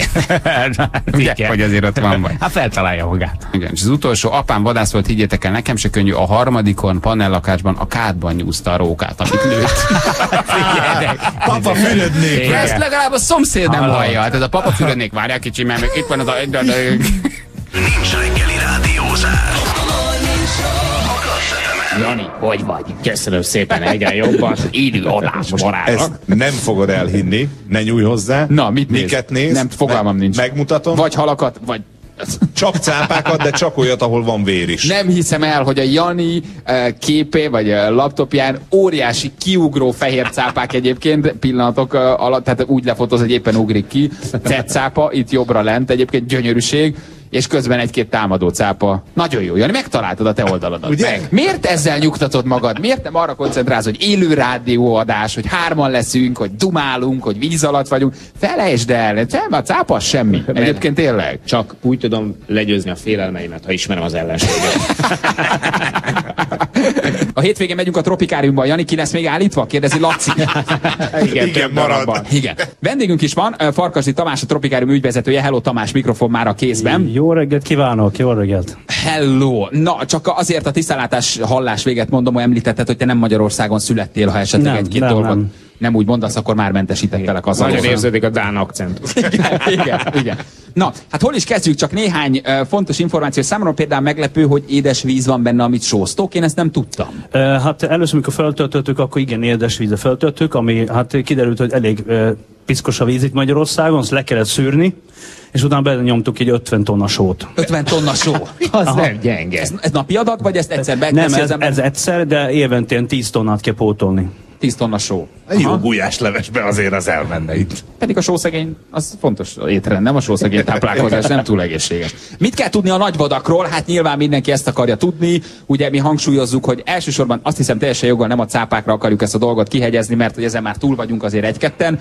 Uh, Feri is és én is merültünk már cápák között adás közben, ezt már abszolút abszolváltuk, de mégis azért egy-két szóban Janinak vezess el a kis élőlényeket, akik várják ott benne. Hát, már láttam, hogy kukkonak kifelé, szeretik a Janit. De, de, szegény Jani. De nem, semmi, tök normális kis szápáskák vannak itt, és nagyon aranyosak. Bár nem szabad itt belenyúlkálni a arcukba, meg a szájukba, mert akkor az lehet, hogy rosszul sül el. Az nem annyira jó. Az nem annyira. Szokniuk kell a helyet? Van ilyen? Vagy ez, ez, ez Nem, hülyeség, nem hogy addig nem merülünk, amíg meg nem szokják a helyet? Ilyet is hogy hallani. Nem, én, én már 22 éve merülök cápákkal, és konkrétan Svédországban is van egy tropikárium, és ott is én voltam első, aki beugrott, és ott nem kell semmit szoktatni. Max annyi, hogy egy pár év után lenyugszik a mondjuk a vadász ösztönük, hogy nem úgy kapják el a, a, a maga a makrélát, ami etetünk, mint egy va- vadbarom, ha így mondanám, hanem kicsit nyugodtabban elveszi a kezemből. Tehát 10 perc után a cápa magáénak érzi a cuccot, nem kell rá várni éveket. Nem, nem Aha. kell várni semmit. Tehát nem, nem, nincs az, hogy éveket várjunk, Nem, és hát annyi, hogy Aha. elején kicsit tartózkodnak emberek, de egyre jobban, hogy megy, megyünk le hetente, minden csütörtök háromkor lemegyünk, etetjük őket, és akkor megszokják, hogy most van kaja, itt az emberek, nem kell félni tőlük, meg nem is kell És megharapni. mivel? Mivel etetitek őket? Janival. Igen. Nagy labda. nem. Ma- makrela, polip, ilyesmi. De ezek nem élő, bocsánat, ezek nem élők, ugye? Nem, nem, az fagyasztott, ami fel van. Hmm. Először, mikor be- beugrottak, akkor valószínűleg ö, körbe fognak nézni, hogy van kaja, vagy Aha. Aha. nincs. Utána, mikor nincs semmi jel kajára, akkor a napi kis hmm. körükre elmennek, és utána mennek. És ott, ahol ti fogtok ülni, ott egyébként elég nagy forgalom lesz szerintem. Tehát beültünk egy csobopontba. Tehát Hát ott, ott a m 0 m 0 vagy Max csobopontba sikerült beülni. Hát jó helyen vannak a székek, mert hát tervezzük, hallgatóinak mondjuk, hogy mi ugye majd leülünk székek mögé, és tulajdonképpen tényleg hát adást imitálva, hárman együtt, ö, beszélgetve, ö, tulajdonképpen hmm. tudósítjuk azt, ami történik. Na, majd- Asztal mögött székeken ülve. Hát ez a terv, meglátjuk, hogy hogy tudunk ebben a felszerelésben leülni. Legyünk majd nagyon óvatosak, hogyha oda gyűlnek körénk, hogy megnézzék, hogy van-e kaja, akkor majd azt, hogy nincs nap középső ujjunkkal mutassuk. Mert az ott maradt. Igaz a, a pisire való támadás? Nem, arról még nem hallottam. Na, Tőlük. ez csak azért, hogyha, hogyha ereszt, a, ereszt a Jani szettje, akkor nehogy baj legyen. Nem, de érzik, hogy valaki féle. Igen? Igen. Az nem jó. Van nevük egyébként? Nem, mintha mi Van. ak- akarnánk velük kommunikálni, de, de elneveztétek őket? Ő gyilkos, van ő bőrlér. Gyilkos, ő könyörtelen. Van, van, van ő nevük. csonttörő. Uh, van nevük, persze. Uh, a, a hím az a Robi. A, Robi. Ro, ro, Robi. tőle Figyel, figyelni kell kicsit. Mert Ő egy homokitigris? Féltékeny. Féltékeny. Féltékeny. Aha. De akkor azt mondtad, hogy merültél már Svédországban, meg nagyon sokat figyeled ezeket a cápás akváriumokat. Tör, van, volt már olyan a világban, hogy valaki rádióadást csinált egy ilyen helyről? Én nem hallottam róla, de hát mindent nem tudok. Aha, de azért nagyon sok helyen jártál, tehát te még nem Igen, tudsz igen. ilyenről, hogy valaki élő rádióadást csinált egy ilyen Még, még medencéről. nem hallottam róla. Na, uh, itt kérdezik a hallgatók csak, hogy az izgalom kedvéért csütörtökönként etet, és a humor kedvéért kihagytátok-e tegnap. Még ezt így gyorsan tisztázzuk, és akkor utána Hát ez lassan rákészül. Ez, ez az, amit csak utána fogunk megtudni. Jó, hát nagyon szépen köszönjük neked, hogy itt voltál. Uh, nyugodtan, ha bármi olyat csinálunk bent kézjelekkel, táblákra felírva, nyugodtan kommunikáld nekünk, hogy mit igen és mit nem. Elvileg terveink szerint leereszkedünk, leülünk, és aztán onnan közvetítjük az adást. Hát kicsit lehet, hogy a felszerelés miatt balra-jobbra néha eldőlünk, de ha valami olyat látsz, akkor itt szólsz a lányoknak, fölírják egy táblára, és akkor... Hát max nem szabad hadonászni kézzel, mert azt én tapasztaltam, hogy nem túl jó, mert engem megharapott. Megharapott. Igen. Ezt most miért mondod el? Ezt nekünk van- miért kell tudni? de itt ez, ez olyan jó lett volna, ez a sztori benned marad. Megharapott. Igen. De te etetted, gondolom. Igen, de amikor lemegyünk etetni, akkor ott van több száz más hal, és elég, elég nehezen látható, és azt szoktuk mondani, aki lemegy etetni, hogy figyel a kezedre, és van rajtunk egy ilyen he- hentes kesztyű, e, Az és nekünk hát a, volt egy ciki, kis ciki sztorit, hogy én mondom olyan, hogy e, így meg úgy kell csinálni, és akkor én egyszer ott etettem, és akkor nézem a embereket, és épp itt a c- á- alagútba jött át egy, mondhatjuk, dekoratív hölgy. És úgy megnéztem, hogy leeresztettem a kezemet, és csat, oda harapott egy cápa a kezemre, és hát az fájt. Kár lett volna, ha ez a sztori benned marad. Azt kell, hogy mondjam, nagyon szépen köszönjük, hogy ezt is megosztottad, Szinte, megosztottad lesz, velünk. szinte leszedáltál minket vele. Hölgyeim és uraim, szép jó reggelt kívánok mindenkinek! Mi már itt vagyunk teljes menetfelszerelésben, rajtam a maszk, rajtam a sisak. Ha hallatszik egy kis levegővétel, az azért van, hogy levegőt veszek, nyilván értelemszerűen. Én már a medence szélén áldogálva ebben a pillanatban, hölgyeim és uraim, megkezdem az ereszkedést. János halára vált tekintetének integet. ő lesz a második, aki ereszkedik. Ó, de hideg a víz! Jani, készülj, nagyon hideg a víz! Hölgyeim és uraim, öröm volt örökkel egy fedélzeten szolgálni. Ebben a pillanatban már víz alól jelentkezik a Class FM rádió. Kérem szépen, a Morning Show lassú, határozott ereszkedéssel megyek lefelé, miközben Jani már készül, tehát magányos pillanatok lesznek ezek nekem, egyébként egy kicsit lent a cápákkal. Jani a második, aki merül, jelen pillanatban egy ö, korál szírt mellett haladok el, jobbra tőlem korálok, előttem egy cápa, ez szerintem a kisebbik, és megpróbálok Armstrongként előre menni. Abszolút súlytalan az ember, tehát ezt úgy kell elképzelni, hogy egy ugrásnál fölugrik, majd szépen lassan visszaereszkedik, föl nem lehet venni, annyi súly van az emberen, miközben balra, ha jól látom, a legnagyobb cápa közelít, körülbelül egy méteres helyen fog elúszni, ha nem ijed meg tőlem. Ha igen, akkor viszont neki megy a kábelnek, ami szintén szórakoztató, de egy rája beelőzte. Ebben a pillanatban, hát azért ez nem megnyugtató. azt hiszem talán a legnagyobb, de nem tudom hol a többi, elúszott mellettem. Hölgyeim és uraim, élő rádió adás, itt a Klassz a víz alól, integető arcokat látok, ők hallanak, én csak eh, hát néhány kollégát ismerek meg a víz alól. Várom én a többieket, akik szépen lassan úgy néz ki, hogy érkeznek, azban maradtunk, hogy Jani lesz a második, és Feri zárja a sort, alattam ráják, makrélák, és ö, a cápák meglehetősen barátságosak. Úgy látom, kicsit a maszk párásodik. Ilyenkor van egy kütyű, amit az ember megnyom, akkor uh, tudja párátlanítani, és van egy másik kütyű, az pedig a pótlevegő, reméljük, hogy arra nem kerül sor. Drága hallgatók, hát köszönjük szépen, hogy velünk vagytok ezekben a pillanatokban. A szürreális, az szinte leírhatatlan, hogy buvár maszkban áldogálva, élő adásban vagyunk Pécset, Debrecenen, Miskolcon, Szegeden, Dombóváron és rengeteg helyen, miközben cápák ráják és hallgatók itt a helyszínen, nyilván az akváriumon kívül. Jani, úgy látom, hogy nem hiszem, hogy megijedt volna, egyszerűen csak készül. Egy leülést én akkor megkockáztatok addig, helyet foglalok kicsit. A létrán megjelentek Jani lábai, ez pedig azt jelenti, hogy itt van már adásban, mert rajta van a sisak. Hello Jani! Halló, hallatok? Kiválóan, egyszerűen fantasztikus a hangminőség. Mit csinálsz ott fönt? Gyere le! A törpeharcsa leszáll, a törpeharcsa leszáll. Jani ebben a pillanatban elkezdi az ereszkedést.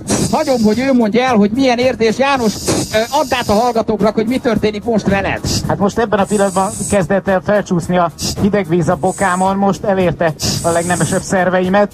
Ó, azért kár lenne. Igen, most biztos egy erőteljes méretbeli csökkenés állt be nálam.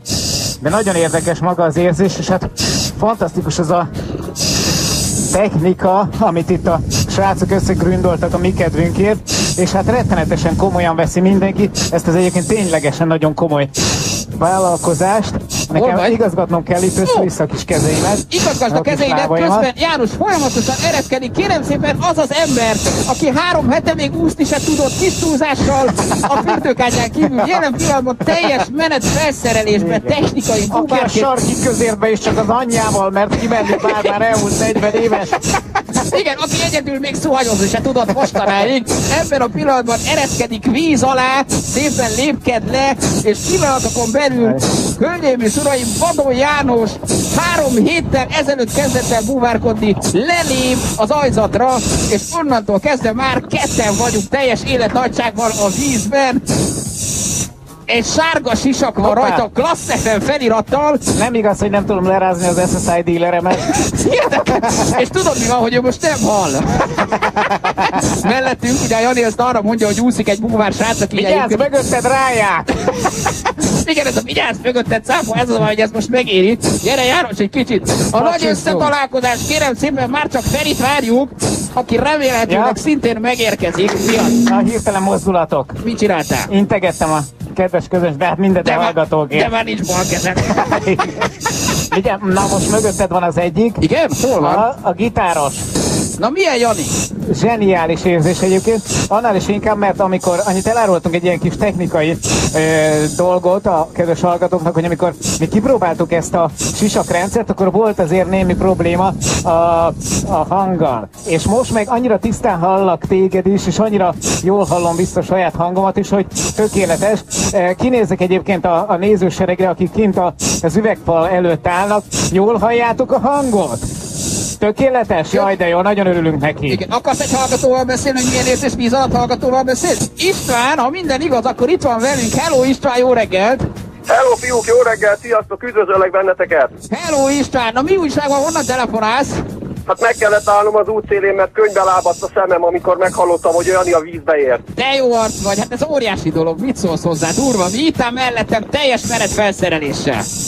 Nagyon klassz, és azt szeretném nektek mondani, hogy mondtátok rólam egyszer a rádióban, hogy én vagyok a legalja mindennek, úgyhogy most mivel ti a medence legalján vagytok, ezért szeretnék nektek énekelni, és tudni is fogjátok, hogy ki vagyok. Légy színe, van nekünk elég baj. Igen, az a baj, de most még énekelni kezdesz, még le se tudjuk tenni, mert nem tudjuk magunknak kivenni az adást, de énekelj valamit Isten, figyelünk! Így van. A Magyarországi Zaporozsec Klub prominens képviselője. Már tudjuk, hogy ki vagy. Köszönöm szépen, további sok sikert nektek és szép napot! István, hallgass minket, állj félre, vagy ha már félreálltál, maradj ott, pillanatokon belül jön a Feri, és onnantól Már kezdve a vészvillogót! hárman leszünk, szevasz! Sziasztok, hello, hello! Hello, hello! Figyelj, Jani! Ülj le addig az egyik székhelyre, ülök a másik székre, úgy várjuk a Ferit, mintha nála lennénk otthon. Melyik széket választol? Rettenetesen nyomorúságosan mozgunk.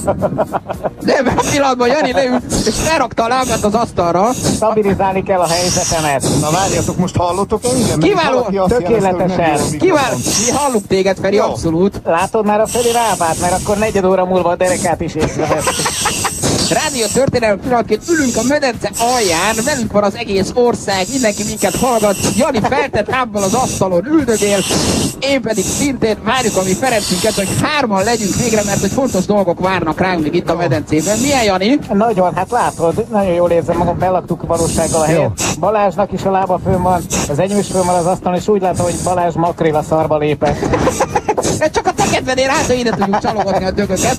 A cápák egészen távolságtartóak, azt kell, hogy mondjuk, teljesen nyugodtan úszkálnak, és nem annyira barátkoznak, körülbelül a 30 centi volt a legtöbb, amíg elúszott, és most jön ez a macska rája a cápához hasonlító pöttyös kis, pöttyös kis jószág, Miközben én azt látom, hogy a, a Feri nem sokára ereszkedik, és akkor már hárman leszünk.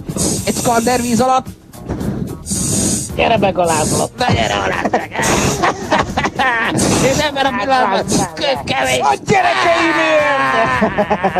Ebben a pillanatban megjött uh, Feri, ereszkedik, Ja. kérem szépen a harmadik műsorvezetője a Cross FM Morning Show-nak, Rákóczi Ferenc. Vigyázz Feri, balra, balra egy kicsit a hátaddal, mert ott egy baromi nagy korában fordulja egy kicsit. Ba- úgy, Nem baj. Semmi baj, ne, száz évig növekedett, ne törődj. Olyanok, mint a cseppkövek. Ferenc ereszkedik ebben a pillanatban, rutinos, Most egy nagyon picit állj meg, mert közvetlen mögötted van a igen, tigris. igen, várjál most egy kicsit, mert rálépsz a Pont rálépsz a fejére. Most, most már jöhetsz, mert nincs alattad semmi, Meg elúszod. kell ismerkedjünk nekünk is egymással. Össze kell haverkodnotok, Azt igen. gondolom, hogy ez a legfontosabb. Mindjárt nem vagy, kettő lépcsőfokod van és nem vagy. A barátság a lényeg ebben a sportban, ugye tudjátok? Számíthatunk egymásra és a cápákra. Hatalmas, hatalmas ráják vannak mögötted, ebben a pillanatban rámentek a kábeledre, de elúsztak. Hölgyeim és uraim, a harmadik műsorvezetője a Morning Show-nak Rákóczi Feri is ebben a pillanatban Gyerekek, megérkezett óriási! megérkezett közénk, és immáron hárman szeretnélek benneteket helyjel kínálni szerény hajlékomban. Köszönjük szépen, én hoztam nektek azért ajándékot. Nagyon vagy. azt gondolom, hogy ennélkül nincs morning hogy neked ne legyen egy ilyen kis Nagyon köszönöm, szerep. kicsit felvizetted a teámat, Feri adott egy pökrét. Várjál, dedikálom. Ebben a pillanatban pedig megpróbálok leülni, utána adod a Janinak szerintem. Jó. Picit lecsücsenünk hárman, mint a klasszikus műsorvezetés lenne. Közben rengetegen vannak a sajtótól egyébként, a kollégáknak mondom, hogy nyugodtan mondják majd, hogy merre forogni. Janikám, Hiszen azért nem ulasszuk el magunkat megnézném a különböző műsorokban, lehető legjobb szögből. A sajtó jelenlévő kedves képviselőinek csak annyit mondanák, hogyha ezt nem írjátok meg, akkor mit? Igen, igen, nézzétek, hát a cárták közé merülés az jó, tehát hogy az, az is fantasztikus. Én megértek minden persze, nyilván két év rákészülés után, de hogy ö, de hogy élő rádió adás, rádió műsor, oda-vissza kommunikáció először az egész világon, bocsánat, a kicsit sokszor hangsúlyozzuk, de azért erre büszkék vagyunk. Látom barátaimat is ebben a nehéz pillanatban, ők is velünk vannak, nagyon helyes. Igen, Bár a hitelkártyákra számítanak. már át is vették, megnyugodhatsz. Igen. Mit hoztál, Feri? Mi az ajándék? szépen. Egy hatalmas parasztbagettet hozott le sonkával és szar. Tényleg valamit kajáljunk. Így, ahogy van, így, ahogy mondod, ez egy nájlonzas csomagolt étel. Az a helyzet, János, hogy ezt nem neked hoztam elsődlegesen, nem te fogod elfogyasztani. Ennek különböző okai vannak. Egyrészt az, hogy ez hús alapú, tehát azt gondolom, hogy te ezt nem fogod megenni. A következő a helyzet. Kesztyűvel vagy kesztyű nélkül vállalod? Vagy Nem sehogy. mondjátok, hogy intéztetek nekem egy etetést. Hát nem intéztük, hanem fogtam egy falat, meg egy ilyen gyönyörű lánckesztyűt. Ha gondolod, akkor te lehetsz az első műsorvezető a víz alól a világon, aki műsort vezet, és megkínál egy cápát egy hallal. Hallás közben a könnyeivel küzdköd. Nem haragszol ezért a kis Hát meglepetésért. figyeljetek, nagyon jó ne fejek haragudj, én se tudtam róla, mondtam volna a Ferinek, hogy ne csinálja, de nem tudtam róla. Bó! Ah, Istenem, tényleg, ne haragudj Balázs, hogy nem szóltam előre. Nem, komoly, Jani ebben a pillanatban felvett egy ilyen acél sodrony kesztyűt a jobb kezére, most még a jobb keze, Igen, és és úgy érzem magam, mint hogy egy, egy statiszta lennék a mennyei királyság Ez most még így van a jobb kezed, aztán ki tudja, hogy kinek lesz a jobb keze. Igen. Jani, következő a helyzet.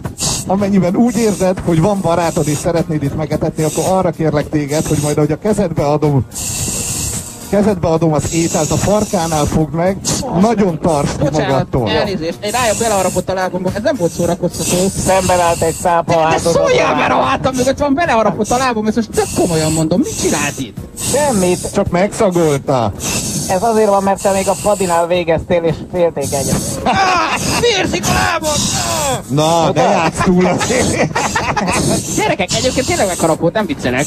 A farkánál fogva fog meg a halat, és tartsd ki nagyon messzire. Ha bármit úgy érzed, hogy nem korrekt, nem jó, nem helyes, ha már a kezedet teszik, akkor dobd el a halat. Várjál, viszont akkor a jegygyűrűmet inkább átteszem a bal Az most kezemre. meg késő. Jó? Na.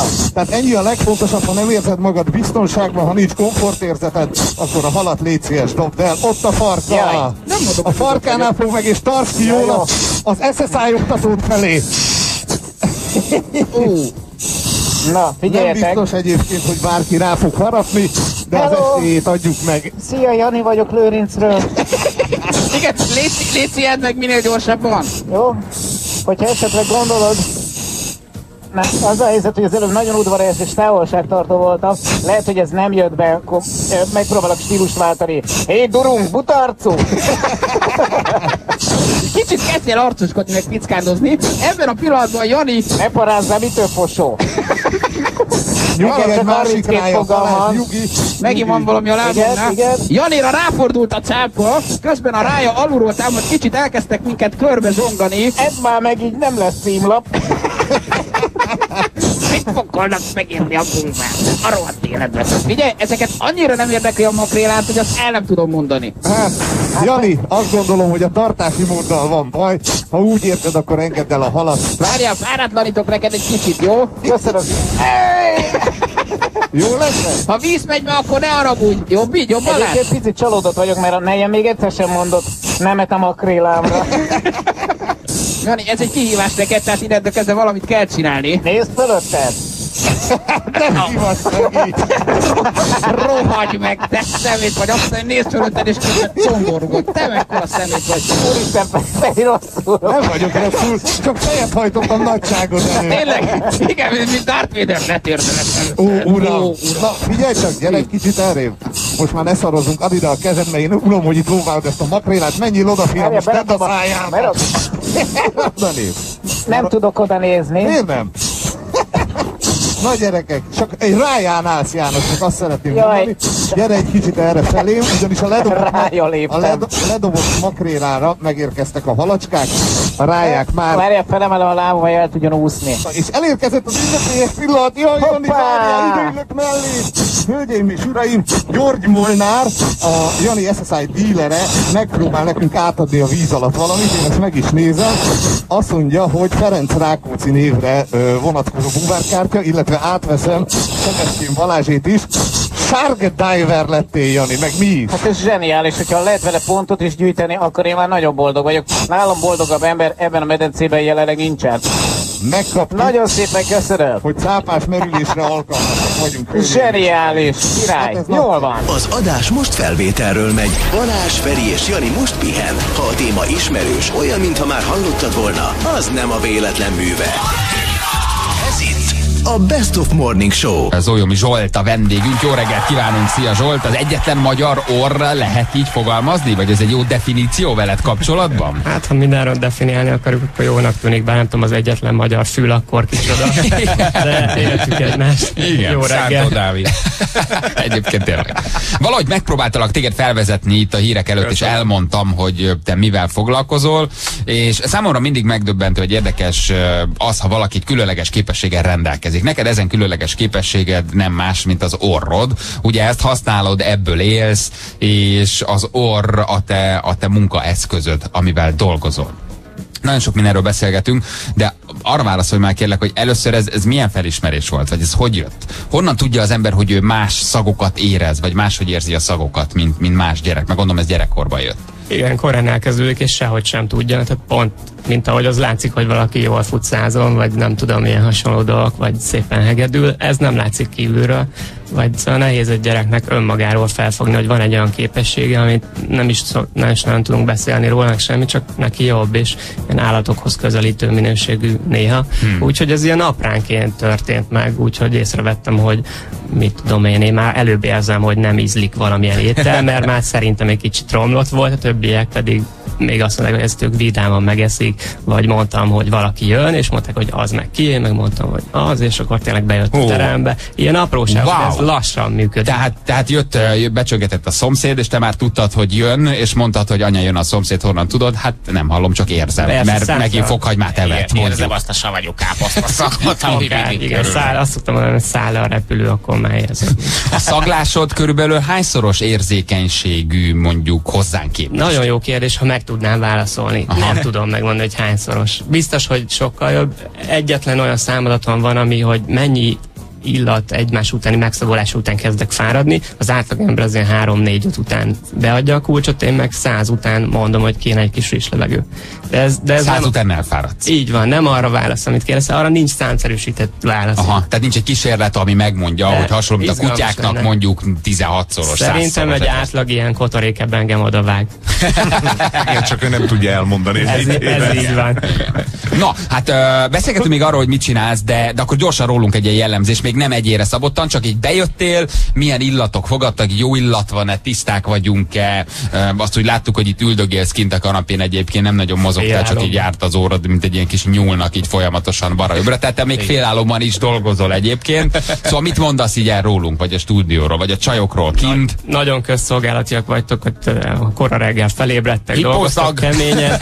Ezt lehet érezni, az kemény, izzadt férfi munka, az úgy lehet itt érezni. Nem csak viccelek, tehát ez, ez szerencsére általában ilyen stúdiókban ilyen elektroszmogot érzek, ami azt jelenti, hogy a por az beül, és az elektromosság meg ezek a dolgok mozgatják. És az ilyen, nem tudom, lehet, hogy nem jó a kifejezés. Na itt nincs, tehát ez egy nagyon jó úgynevezett tiszta background, tehát nekünk parfümöröknek ez egy jó háttér, és akkor aki, aki bekísért, annak az életet is éreztem, igazából azt jegyeztem meg, ma, ez hmm. szép. Eljö a feleségem, vagy nem csodálom, hogy megjegyeztem. Gratulálok az illatválasztásához. Jó, van, ne, én választottam neki. Jó, csináltad. Hát, Leesett az egyik polcról, de az illatot is, meg a nőt is ő választotta. Levertem, azt gondoltam, ki kell fizetni, akkor maradt egy, kicsi, maradt egy kicsi az üveg. Ez a legjobb választás, hogyha nem értesz hozzá. Azt olvastam róla, hogy te már gyerekkorodban is szobrokat szagolgattál. Hú, ez így ez, volt. Ez, ez, mi, mi derül ki egy kőszoborról? Ha valamit nem lenne kedve megszabol, megszagolni, az egy kőszobor. Hát, hogy oda járnak el kutyák. De tényleg? Igen, igen. Tehát aláírom mindegyiket, tehát igazatok van. Hát én olyan körülbelül tíz éves voltam, amikor Afrikába éltem, Észak-Afrikába a szüleimmel, és de elvittek ilyen régi római, meg ilyen romokhoz, és akkor azt vettem észre, hogy megvárom, míg a őrteremőr néni kimegy, és akkor én elkezdem szólni a köveket már, és lehetett látni, hogy vagy akkor én gondoltam már, de egyedül voltam mindig az ilyen helyzetekben, nem, valami nincs rendben, és azért, mert a köveknek rendkívül jó illatuk van, és mindegyik más. és nem mindegy, hol szagolod a növi kőszobrot, más az illata. Na jó, ez csak itt van. Igen, igen. ez, ez elképesztő. És nem volt olyan pillanat, amikor már egy kicsit a, a szüleid azt érezték, hogy kezd kellemetlen lenni a dolog, és én gondolom, hogy ne szagolgassd el ezeket a koridorsi oszlopokat. Ne, olyan, olyan volt, hogy mondtam apának, hogy ez a tej, ez már nem annyira jelös, hogy de megiszod, és lett ez természetes. Parfum őr, ez, ez tulajdonképpen mit jelent pontosan? Uha, a szokásos poénjaimat nem mondom. No, minden, most. nekünk új, mert nem beszéltünk még vele. Jó, az új szülöttnek tudod, jöhet. Nevetni fogunk udvariasat. Nagyon kedvesek vagytok, de az a ti szakmátok. Tehát a parfümőr, hogyha egy nyelvtelen nézzük, akkor az, az ember, aki vigyáz a VPO által lefoglalt hamis szállítmányokra, na én nem ezt csinálom, hanem kitalálok illatokat. Kitalálsz illatokat. Így van. Tehát ez hogy zajlik? Megnézed az ember? Nem, nem érdekel, hogy néz ki. Nem érdekel, hogy De megnézem, mert bejön az ajtónak, hogy Na jó, ne okay. védse el azért. Akkor mondd el, hogy hogy zajlik, egy, hogy, hogy zajlik egy ilyen. Aha, bejelentkezik egy ember, nevezzük embernek, mindegy, hogy nő vagy férfi. Azért általában a hölgyek jönnek természetesen, a férfi meg fizet a végén. És uh, mikor találkozunk, akkor nagyon erősen figyelek rá, hogy ne nézzem meg, tehát ne érdekeljen az, hogy külsőleg ő milyen, milyen ruhában van, milyen sminkben, hogyha hölgyről van szó, milyen ékszerekben, mert azt öt másodpercet változtatja meg a sztálistjával és a többi, tehát a kinézetünk az nem annyira szignifikáns ránk nézve, az egy image, az egy kép, amit mutatunk a világ felé. Egy parfümör pedig igazából azzal dolgozik, amilyen te valójában vagy, és amilyen valójában vagy, az nem más, mint a testillatod, azt nem tudod meghazudni, ezt nem tudod megcsalni, tehát az te vagy, és nekem azt kell levenni. Ergo, ha jön valaki, nem érdekel, hogy miniszoknyában van, vagy nyakig apác az uh, nem érdekel, hogy mit akar előadni, nekem mögé kell mennem a kép mögé, és ezt nagyon egyszerűen tudom csinálni, megszagolom, leveszem a szagi mintázatát. Ő nem érzékeli, mert mi csak beszélgetünk ilyen látszólag odaillő dolgokról, az mind időhúzás és hazugság, valójában én szagolom. És ahogy megszagolom, néha közel megyek, néha távol, függ mennyire féltékeny a fér, uh, és ennek megfelelően erre az illatmintázatra kezdek el elképzelni valamit, ami egy láthatatlan a király új ruhája, és hogyha az megvan a fejembe, akkor elengedem a kezét, ő elmegy, és pedig elkezdek összeállítani egy nem létező vadonatúj esztétikai minőséget, ami majd jó esetben egy év múlva lesz kész, vagy másfél múlva, és ahogy időről időre találkozunk, két-három havonta rápróbáljuk bőrre, és megnézzük, hogy amit elképzeltem, az tényleg ő-e, jó irányba megyünk-e, és így működik a dolog. Ez, ez, egy fantasztikus, ez nagyon jól hangzik. Mert hogy te nem azt nyújtod neki, ami szeretne lenni, hanem azt, ami ő valójában. Ah. Tehát, hogy, hogy mert sok esetben a hölgyek is, meg az urak is olyan illatokat raknak magukra, amilyenné szeretnének válni, vagy amit szeretnének kifelé sugározni. De ez nem biztos, hogy ugyanaz, mint amik ők valójában. Jól fogalmazva, én azt szeretem, ha olyan identikus az élet. Azt szoktam mondani, hogy hogyha Velázquez fest egy uh, portrét egy spanyol infásnőről, akkor az természetesen nagyon beállított, és nagyon megvan, hogy olyan legyen, amilyen, az egy, az egy udvari királyi portré, de egy jó portréfestő megcsinálja úgy, hogy több száz év múlva mi ránézünk a képre, és a kislány arcából látjuk a jellemét. Mert egy parfümőr is akkor jó, hogyha az elvárásait is, tehát az aktuális élet célja, hogy meghódítsa valamelyik fiút itt a stúdióba, akkor egy kicsit más, más agyaggalambra lövünk, mintha csak egy ilyen átlag jó érzéses parfümöt keres, de valójában az én dolgom, hogy mindenfajta máz helyett őt találjam meg, és őt valósítsam meg, esetleg még azt is, ami nincs benne. Mármint, hogy még nem élte ki. Szóval és mennyi, fura. Mennyit kell beszélgetned, hogy letapogassál valakit orral? Tehát körülbelül mennyi időre van szükséged ahhoz, hogy, hogy valakiről kapjál egy képet, amin aztán el tudsz indulni? Általában ilyen egy-kétszer, egy-másfél órás session töltünk el, Aha. ami a munkának, ez a munkafázis. És az annyi, hogy ültök, beszélgettek, te néha oda lépsz, és valahol egy, egy ponton te megszagolod? Hát ez is lehet, mondom, hogyha, hogy, hogyha fér nincs. Ha ott. engedik. Így van, Igen. ha engedik, tehát hogyha látszott elengedik a parfümőr, akkor közelebb megy természetesen, de ha jó a szélirány, akkor még ez se kell. Tehát azt szoktam mondani, hogy van, hogy, van, hogy belép az ajtón és megvan, és akár el is engedhetném, de az udvariatlanság lenne. Ja, és akkor még kicsit, kicsit beszélgetsz. Így van, úgy jobban veszi ki magát, mert sok pénzt elkérünk a végén. mennyi, mennyi az ára tényleg? Én ilyen horribilis. Aztán szabad parfüm Valaki mondjuk kitalálja, hogy szeretne magának Aha. egy olyan illatot, ami nincs több a világban, ez az ő egyedülálló. Az átlagára egy ilyen 20-30 ezer eurós összegről beszélgetünk. Azt a hát az tényleg nem olcsó, ez a, ez a felső szint luxusa sajnos. Én nagyon szeretnék, én demokratikus uh, valaki vagyok. Uh, de, de nem véletlenül a luxusipar a legfelső csúcsain születő egyedi termékek nem Azért az, azokat meg kell. Igen, főleg az időnket, fizetni. meg a szellem, a kreatív munkát kell benne megfizetni. Egyszer, tehát hogyha utána már után kell gyártani, az már fajlagosan olcsóbb. Az már olyan, mintha vennél két-három parfümöt egyszerre, olyan ár. Egy átlagember hány illatot tud megkülönböztetni, és ehhez képest te mennyit tudsz? Uh-huh. Egyszerre, vagy összesen életében? Ö, hát akár mondjuk egyszerre. Azt az előbb mondtam, tehát körülbelül 3-4-5-öt uh, tudsz megszagolni, utána elfáradsz, elfáradsz. és akkor azt a nagyon rossz dolgot követed el egy parfümériában, hogy beleszagolsz babkávéba vagy kávéba, ami nagyon rossz, az nem jó, azt, azt mindenkit lebeszélnék róla, mert a kávé egy nagyon erőteljes uh, aromaanyag, több ezer illatos molekula van benne, és ugyanazt teszi, mintha elfáradnánk sok kép vagy mozifilm nézegetésébe, és azt mondanák, hogy pihenjünk egy picit, majd szembe világítatnánk magunkat stroboszkóppal. Nézzük meg az avatar. Így van. Hát nem jó. Tehát, tehát voltam Párizsban például, ott a legnagyobb parfümboltokban, akik azért ugye értenek nyilván a parfümkészítéshez, ott ők is kávét tesznek. Aha, a legnagyobbak nem biztos, hogy értenek hozzá, a legkisebbek inkább értenek. Tényleg? A pici, jó minőségű régi manufaktúrák, meg a szakmailag független cégek értenek hozzá, amikkel te találkozol, az a legnagyobb, az gondolom a Sanzelizén az egyik híres ilyen parfümlánc, ami a világ egyik legnagyobb parfümérje, ha nem a legnagyobb. Na én ott voltam. Gondoltam? Oké, okay, nem, mentem, nem mentem kicsi parfüm Jó, legközelebb szól és elmondom, hogy hova érdemes jó, jó, jó. is elmenni. Oda is érdemes, mert fán megnézni egyet, Igen, hogy, hogy rohanja le a turisták tömkelege a franciák által nyújtott uh, luxus parfümiparnak a public részét, tehát ami a messznek, a tömegeknek szól, de ott az retail tevékenység, az kiskereskedelem, az igazi szakmai szinttől messze van egy ottani sales shadow. Részben hazudok, mert ott szerencsére van olyan, ami Magyarországon hiányzik, hogy a parfüm boltos eladó lányok értenek ahhoz, amit árulnak itthon ez még gyakran nincs így sajnos. Tehát a válaszom az, hogy négyet, ötöt szagol meg egy ember és elfárad, akkor ne kávézzon, hanem menjen ki a parfümériába a friss uh-huh. levegő idő, uh, vagy még azt lehet csinálni, hogy saját magadot megszagolod. Tehát, hogy így a, Tehát a sima bőr. A saját a bőr, bőr az, az segít, így Aha. van. Uh, a másik, én pedig mondom egy ilyen vizsgahelyzetben, tehát egy ilyen szagolunk így ez mi, mit tudom, haiti vetivel, ez mi, szicíliai citrom 10%, ez mi, és így megyünk egymás után. Száz után leteszem a láncot, és mondom, hogy help, please. De komoly, de durva. És egy már kész parfümöt te szét tudsz bontani? Igen. Igen, a parfümőrnek dolga összerakni, tehát hogy nem létezik ilyen esztétikai újdonságot összerakni a semmiből, tehát újat alkotni, vagy gyakran kérnek minket ilyen, hogy csináljunk jó értelemben egy kopit, tehát azt kérjük, hogy legyen olyan parfüm, mint ez vagy az. És akkor lehet, hogy egy gyertyának csinálunk illatot, vagy ilyesmi. És akkor leülök egy speciális szobába, ami még ennél is tisztább levegőjű, ilyen vízszintes rétegzettségbe szívják ki a levegőt belőle, és teszik be az újat, és egyetlen egy illat mintát adnak be, és én azzal ülök, szagolok, és írogatom, hogy mi van benne, és ez jó párszor 20 perc, lehet, hogy két-három napot, lehet, hogy több hetet dolgozom rajta, és utána egyre közelebb tudunk menni az eredeti összetételhez. Igen. Nagyon komoly. Van ödözójom is?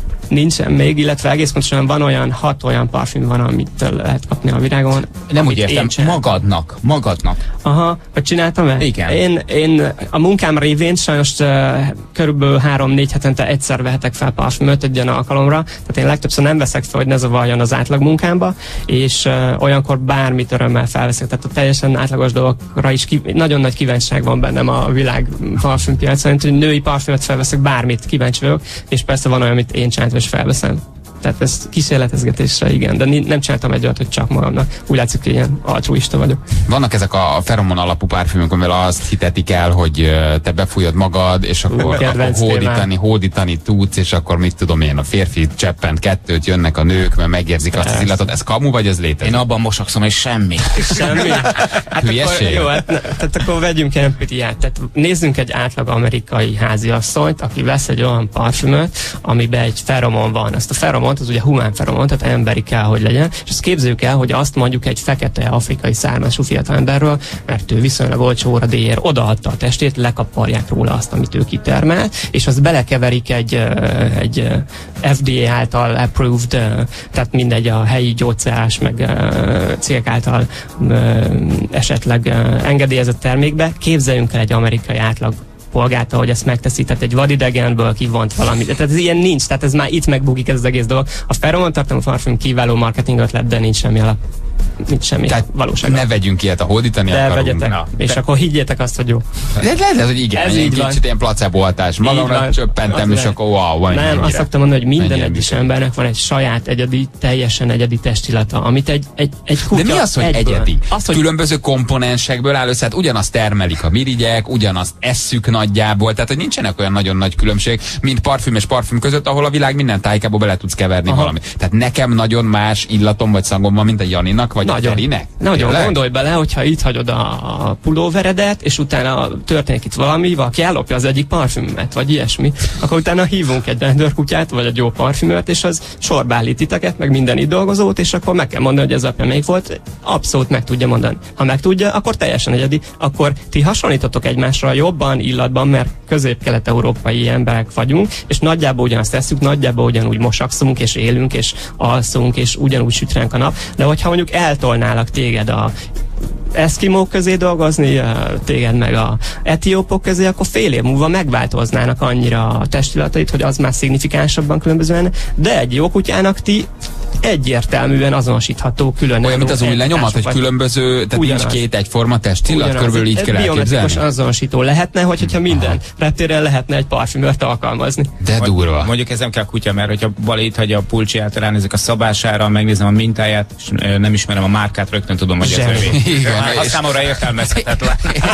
Egy sárgulc az luxus, a luxus pulóverek kedvelője. Igen. Száz közül állítólag az anyák megismerik a saját gyermek nőkük illatát. Azért ez érdekes, tehát erre, erre azért a, a nők is képesek ilyen jellegű kötődésnél, hogy száz megszól, és azt mondja, igen, ő, ő azért Hát meg az első szerelmed illatát, vagy az másodikat, vagy a harmadikat, az, a- az is, az a, beúszik a Dunai szélből, akkor így felkapod a fejed. És én szoktam kísérleteket csinálni, uh, tehát játszom a parfümkészítésen kívül sok ilyen szakértői munkát, és van egy olyan, ami a nagyon nagy kedvencem, hogy nagyon idős emberekkel különböző természetes alapanyagokat szagoltatok, tehát mondjuk tengervíz illatot, tehén istáló illatot, lóvizeletet, bármit. Na. És azzal előhozom az ő agyukból a gyerekkori vagy régi régen. És a kérdésem egyetlen egy dolog, amit mutatok, az bármi, lehet, hogy nem reagál rá, de ha igen, akkor mesélj el, hogy mit érez. És döbbentes élmény, amikor egy 106 éves bácsi elmesél egy élményt, hogy áll a, a nagypapájának, ez a kedvenc példám, áll a nagypapájának a csizmája mellett, tehenet fejnek brötányba és a sajtárba folyik a friss tej, érzi a fa sajtának a szagát, meg a friss meleg tejét, és a, nagy, a nagypapájának a csizmájának a bőrillatát, és ő kisebb, mint a nagypapájának a csizmájának a szára, így néz fel rá. Körülbelül 3-4 éves, és a 106 éves a bácsi, akkor röpként 100 évet minimum ugrottunk. És milyen, Ennyi. milyen illatot szagoltattál vele, amikor ez eszébe Egy jutott? kumarin nevű alapanyagot, ami egy fejekristály, ami például a levendulában van, meg a, hogyha a szénabogjába szeretkeztél már, akkor az az érzés. Hmm. Én csak viszkettem. Helyes, az is jó Semmi nem volt, semmit nem éreztem. Ez itt a Best of Morning Show. Zolyomi Zsolt, az egyetlen magyar parfüm őr, a vendégünk, az egyetlen orra, a magyar orra, a leghíresebb magyar orr, hát mit tudok még mondani. Rengeteg kérdés jön hozzád, úgyhogy kicsit ezekből szemezgetünk, és utána még beszélünk, mert mindhármunkban sok minden van, amit még tudni akarunk uh, rólad, meg uh, hát a szakmáddal kapcsolatban már barom érdekes dolgokat mondtál el eddig is, hogy, hogy, hogy, hogy mit is csinálsz tulajdonképpen, és tulajdonképpen tényleg egy olyan dologról van szó, amiről keveset tudunk, szóval vannak szakmák, amiket az ember ismer, de hogy én amikor olvastam veled az újságban ezt az interjút, így, így, így meglepődtem, hogy wow, milyen keveset tudunk erről a világról, és milyen izgalmas közben, és hogy hány szegben se lehet még a, a világban olyan dolgoknak, amiről nem nagyon tudunk, és közben emberek csinálják, végzik, és milyen barom izgalmas lehet róla beszélni. Kérdezik a hallgatók nagyon sokan, hogy a Parfüm című filmnek biztos láttad, hiszen részben rólad Én szólott. csináltam a kép a leírások szakmai lektorálását. Komolyan? Hát nincs több kérdésem. Ennyi, ennyi, most mit mondjak még? Gurítsuk át a széket, mindenki térdre. Igen, szóval, hogy van-e valami uh, alapja, igaz-e? Uh-huh. Uh, az egy Patrick Süskin nevű írónak a regényéből készült, Így és van. a, a film is, de a könyv is megdöbbentő egy parfümőr számára, mert rendkívül jól elmondja, hogy mit érez egy parfümőr az alkotás folyamat közben. Természetesen engem is leláncolnak, hogyha egy megfelelő illatú hölgy megy el arra, mert így nagyon-nagyon kívánom a bőrét felhasználni, és hát otthon ilyen lenyú, Buffalo le, lenyúzott szörfruhának kinéző dolgok lebegnek a szekrényben. Nos, az a része természetesen túlzás, de, de nagyon-nagyon jól kitálták, és a képi megfogalmazása, hogy az gyönyörű szerintem. Nagyon Hihetetlen jó film. Igen, Hihetetlen nagyon erős. film. Tényleg, igen. Kik a, kik a legbüdösebbek és a legjobb illatúak, ha lehet így mondani? Nyilván bejártad a világot. Az, ki, mely, mely az a nép, vagy ki az a nép? De hogy melyik, azt nem mondom el. Ne, ne, nyugodtan, hát Meg, meg érdekesen őket. fogalmazott egyébként Balázs, szóval számodra van olyan, hogy büdös? Uh-huh. Nincs. Vagy egy, tehát, tehát számomra informatív illatok vannak, ha, ha ez ilyen logikus kérdés egyébként, de, de nincs ilyen. A távol-keletiek számára, tehát mondjuk japánok, koreaiak számára, európaiak, akik sok tejet fogyasztanak, ők meg kevésé, az egy fura, ilyen, ilyen erjedt, ilyen sajtszagú, ilyen, ilyen ó, pálpusztai feelingek vagyunk Aha. számukra, és számukra ez egy kicsit ilyen visszatetszés keltő. Ők egyébként nem is szeretik az úgynevezett orientális illatokat, hanem sokkal könnyebb, ilyen kis csilingelő virágillatok, egy könnyű gyümölcs, meg gyümölcsvirágillatokat szeretnek. De ez csak egy példa, tehát kultúrák között van különbség, de nem lehet mondani, hogy büdös, meg nem büdös, mert akkor nézzétek meg Heidi Klumot, meg Szilt, és akkor hogy jönnek össze, már pedig boldog pár. Tehát ez azt, az, azt feltételezi, hogy minden, amit az előbb, ahogy előbb befejeztük, minden egyes ember teljesen egyedi illatú, és csak meg kell keresni azt a párt, akinek szereted a testillatát. És uh, a válaszom az, hogy nincsen büdös, meg nem büdös ember, számomra parfümőr számára pláne nincs, mert amitől büdös, kvázi, az átlagor számára, az számomra nagyon izgalmas, és annyira izgalmas, hogy izgalmasabb, mint amennyire büdös. Tehát engem érdekel, hogy hol járt előző este, mit evett, mikkel lőtte magát, amitől olyan illatú. És az jobban érdekel, és ezért az izgalmas nekem mellett állni és szaglászni. A kedvenc sztorim elmenni, vagy nem szóval, a kedvenc élethelyzetem elmenni egy nagy tömegbe, egy koncertre, vagy színházba, vagy operába, és ott a váró részbe elvegyülni a tömegbe, és érezni, hogy ki mennyire rosszul választ parfümöt, miket csinált, mit evett, mennyire tagadja a férje előtt, hogy közben a harmadik pályában levőt nézi, és ez, ezek, ezek érezhetők illetve ide, döbbenetes. jó. Jó ide. Ja, mint egy, mint, egy, mint egy farkas az erdőben olyan ilyenkor nekem. Betegséget megérzel, ha valaki például beteg? Uh, én, én megérzek, de nálam sokkal jobban megérzik azok a mondjuk természeti népeknek a sámányai, akik erre trenírozva vannak, tehát őknek nincsen más eszközük az erdőben, vagy a dzsungelben, vagy a szavannán, és ő nekik természetes az, hogy tudják, hogy hosszú évtizedes tapasztalattal, hogy valamelyik tag a csoportból ilyen vagy olyan szagú, akkor valamilyen mérgező növényt tevet, és akkor arra meg ez a büdöske növény lesz jó. De te is mondod valakinek is. túl működik a mája, vagy a vesé, vagy az epéje, Ah. azt így meg tudod fejteni? Nem, hogy, ennyire nem, mert a- érzem, kicsi pajzsmirigy túltengés, az lehet, mert olyan, olyan, olyan erjedt mexikói citromillatod van, ami nem lehet máshogy, mondjuk. Vannak olyan betegségek és mérgezések, amik nagyon egyértelműek. Egy célmérgezést te is ki tudnál szúrni, mert az ilyen nagyon keső mandula illatú, de uh, ehhez nyilván az, az a logikai background kellene, hogy kell, meg kellene legyen az olvasi tudásom. Az részben Aha. megvan, mert biológus az egyik diplomám, de csak részben, tehát nem vindikálnám magamnak a jogot, hogy ezt mondjam, de mondjuk tapasztalt öreg traumatológusok, vagy baleseti, amikor beviszik az embereket, vagy belgyógyászok, bi- meg általában orvosok, biztos vagyok benne, hogy akinek jó óra volt életében, az konkrétan ugyanúgy, mint én, ha én tudom, hogy az a szag ehhez a betegséghez köthető, ő pedig már tapasztalatból érzékel, hogy az ilyen emberek ezzel a korképpel ilyen illatok, akkor ő meg tudja mondani, és a, abba a pillanatban behozzák az ajtón a beteget, és beszélget vele egy kicsit, akkor ő neki már sejtése van, hogy mi lehet a baj, és akkor egy megerősítő diagnosztika elég. Ez nagyon nagy előny lenne az életbe, ha ezt például tudatosan képeznék az orvosokat erre, természetesen azokat, akiknek van megfelelő képessége. És mi az, amit még meg tudsz érezni, ami nem konkrét illat, hanem, hanem, hanem egy eh, jelenség? Tehát erre gondolok, mint például a, a, a betegség. Tehát, Mhm. hogy például ha valaki fél, vagy a igen, félelmet, azt, igen. megérzed? Igen, igen, de, De- ezt egy kutya is, tehát megérzi rajtam, hogy Oké, én, én inkább persze. Elszaladni, de, de, De milyen mi illata is van? Tehát hogyan lehet vagyunk. azt definiálni nekünk halandóknak, hogy te megérzed azt, hogy valaki fél édes, savanyú? Tehát, hogy sem, sem. Sem, sem? Aha, Milyen? Nem lehet definiálni. De tudod, hogy fél? Igen, azt egyértelműen tudom. Egy vadidegenről, aki mellett elmegyek az utcán. Nagyon fura. Nekem is fura érzés elmenni és, és érezni, hogy ő tart valamitől, de nagyon éppen akkor. Innen már csak egy ugrás, hogy utána menj és megszólítsd, hogy uram, ön fél. Tehát, hogy aha. láttam ilyen filmet, ahol volt egy lány, aki mindenki, mindent érzett, és oda ment az emberekhez, és elmondta, hogy ha most hazamegy, még rajta kapja a feleségét, hogy együtt van egyébként a vízvezeték szerelő. Na, ilyen indiszkréciókat nem követek el, olyat, olyan indiszkréciókat, indiszkréciókat szoktam elkövetni, hogy oda megyek és szólok, hogy hát én parfümkel foglalkozom, nem fogom elkérni a mobilszámot, bármennyire jó lány vagy, de azt azért elmondanám, hogy szerintem próbált ki ezt vagy ezt a parfümöt, tehát hogyha nagyon nem jól választ, eddig megyek el, egyébként nem vagyok sem jó, sem pszichológus, tehát nem megyek bele mások életébe. Az egy nagyon fontos dolog, hogy a, hogyha például tartok személyes parfüm tanácsadást, tehát hogyha bejönnek hozzám showroomba, és akkor mondjuk valaki szeretne választani végre olyat, ami neki jó, és rászánja azt az egy-másfél órát az életéből, akkor kifaggatom, megszaglázom, és akkor a létező különleges parfüm közül nálunk ott választok neki. És ennek az a lényege, hogy általában ezek az emberek abban a bizalmi helyzetben úgy beszélnek, mint egy pszichológussal vagy egy szexológussal, nagyon olyan titkaikat is elmondják, hogy én ezt nem is tudom. És nem is tudok vele mit kezdeni. Pszichológiai szempontból nem szabad mélyebbre menni. Mélyebben mint a, az a testillat, aki ő.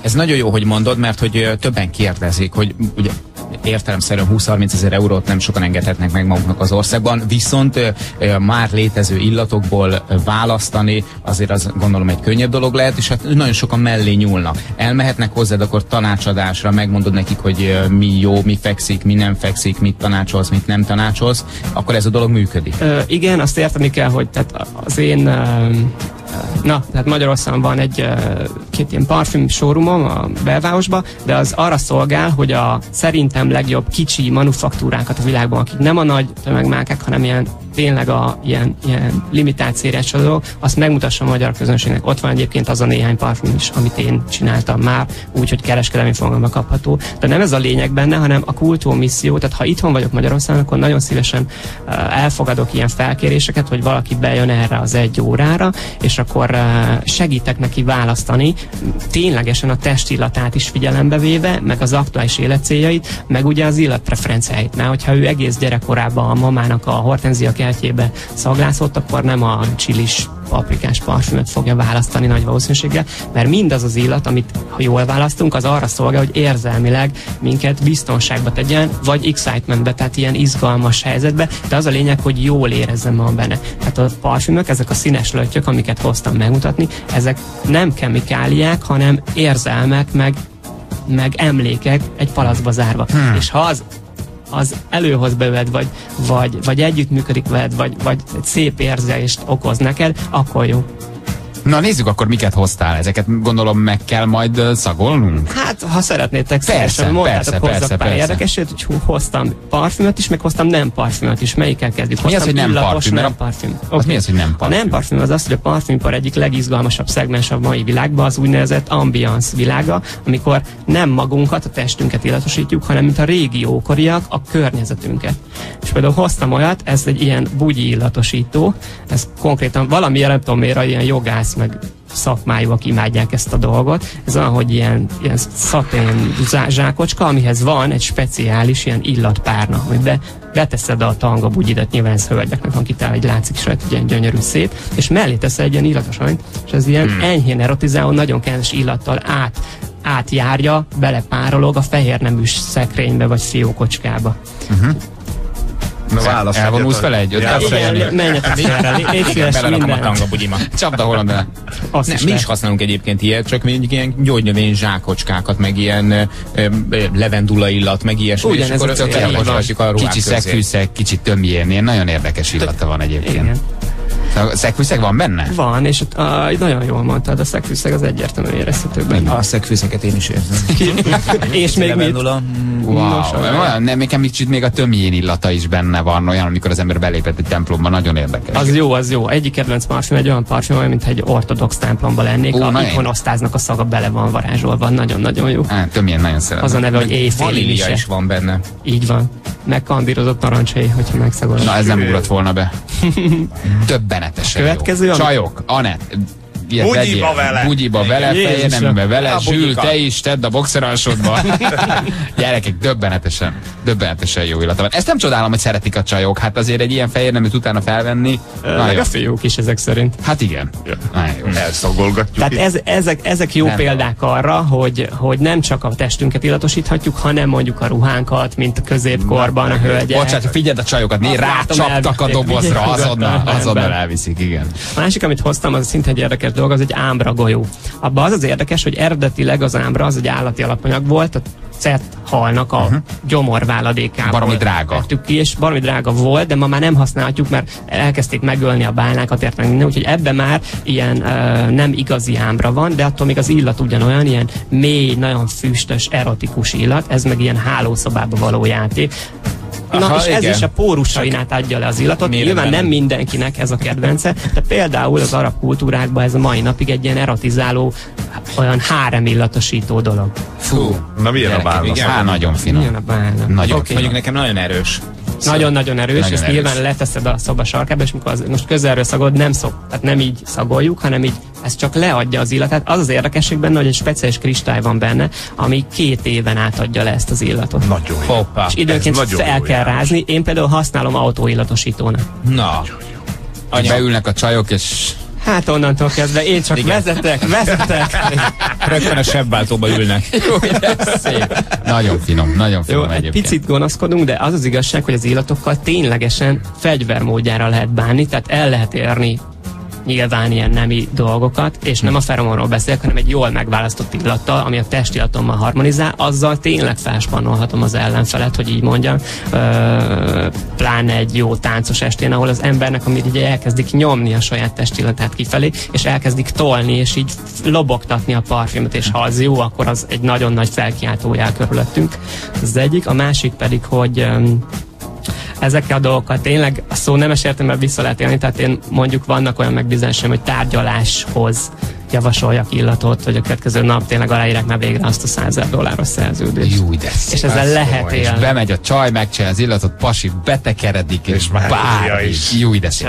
Zuzi kérdezi, hogy mennyire igaz az állítás, hogy ha az ember jó parfümöt választ, akkor azt magán nem érzi, csak a környezetelnek így kell működnie. Aha. Ennek van valóság alapja, vagy ez, vagy ez egy tévedés? Nem tudom százszerékig megválaszolni. Igazából a dolog ott ö, bukik meg, hogy az embernek az orra úgy működik, hogy természetes módon egy idő után nem érzi a magánlevő illatot, mert megszokja. Aha, az orr elfárad. egy érzékszerv, nem csak hogy elfárad, még ha nem is fárad el, az orrba az agy azt mondja, hogy oké, okay, ezt már érzem, ezt ismerem, akkor ezt most ne érezzem, hanem jöhessen be friss információ, tehát így le. Ugyanígy, mint a vizuál, minden ingerrel így van. Tehát ez egy természetes dolog, hogy az ember a saját magánlevő illatot, amit sokáig érez, azt 10, 20, 30, 50 perc után elkezdi kevés érezni, és nem, nem véletlenül ezért szokták túlfújni magukat az emberek, szóval nem érdemes. Uh-huh. Úgyhogy sajnos nem azért, mert az jó neki, hanem ez egy természetes dolog, hogy utána az nap során már csak akkor érzed, ha leveszed a pulóvered, megrázod akkor- a akkor hajad, igen. akkor megint. Hát az nem baj, ha te nem érzed, a reggeli jó érzésed meg volt, frissen elindultál, vagy az esti a partiba elmentél, utána már csak a többieknek kell érezni. Mi van, ha influenzás vagy szabadságra mész? Ez pontosan így van, én akkor pihenek. Beteg Szabi, kész, tehát Így akkor van. elfárad az orrod, Akkor nem beteg, és akkor, akkor, akkor nincs meló. Így van. De véded valahogy? Hát neked ez a munkaeszközöd? Vagy nem csinál semmi nem, külön? Semmi, semmi különöset. Mondjuk nem agresszíven nem, nem kábítózom, természetesen semennyire se,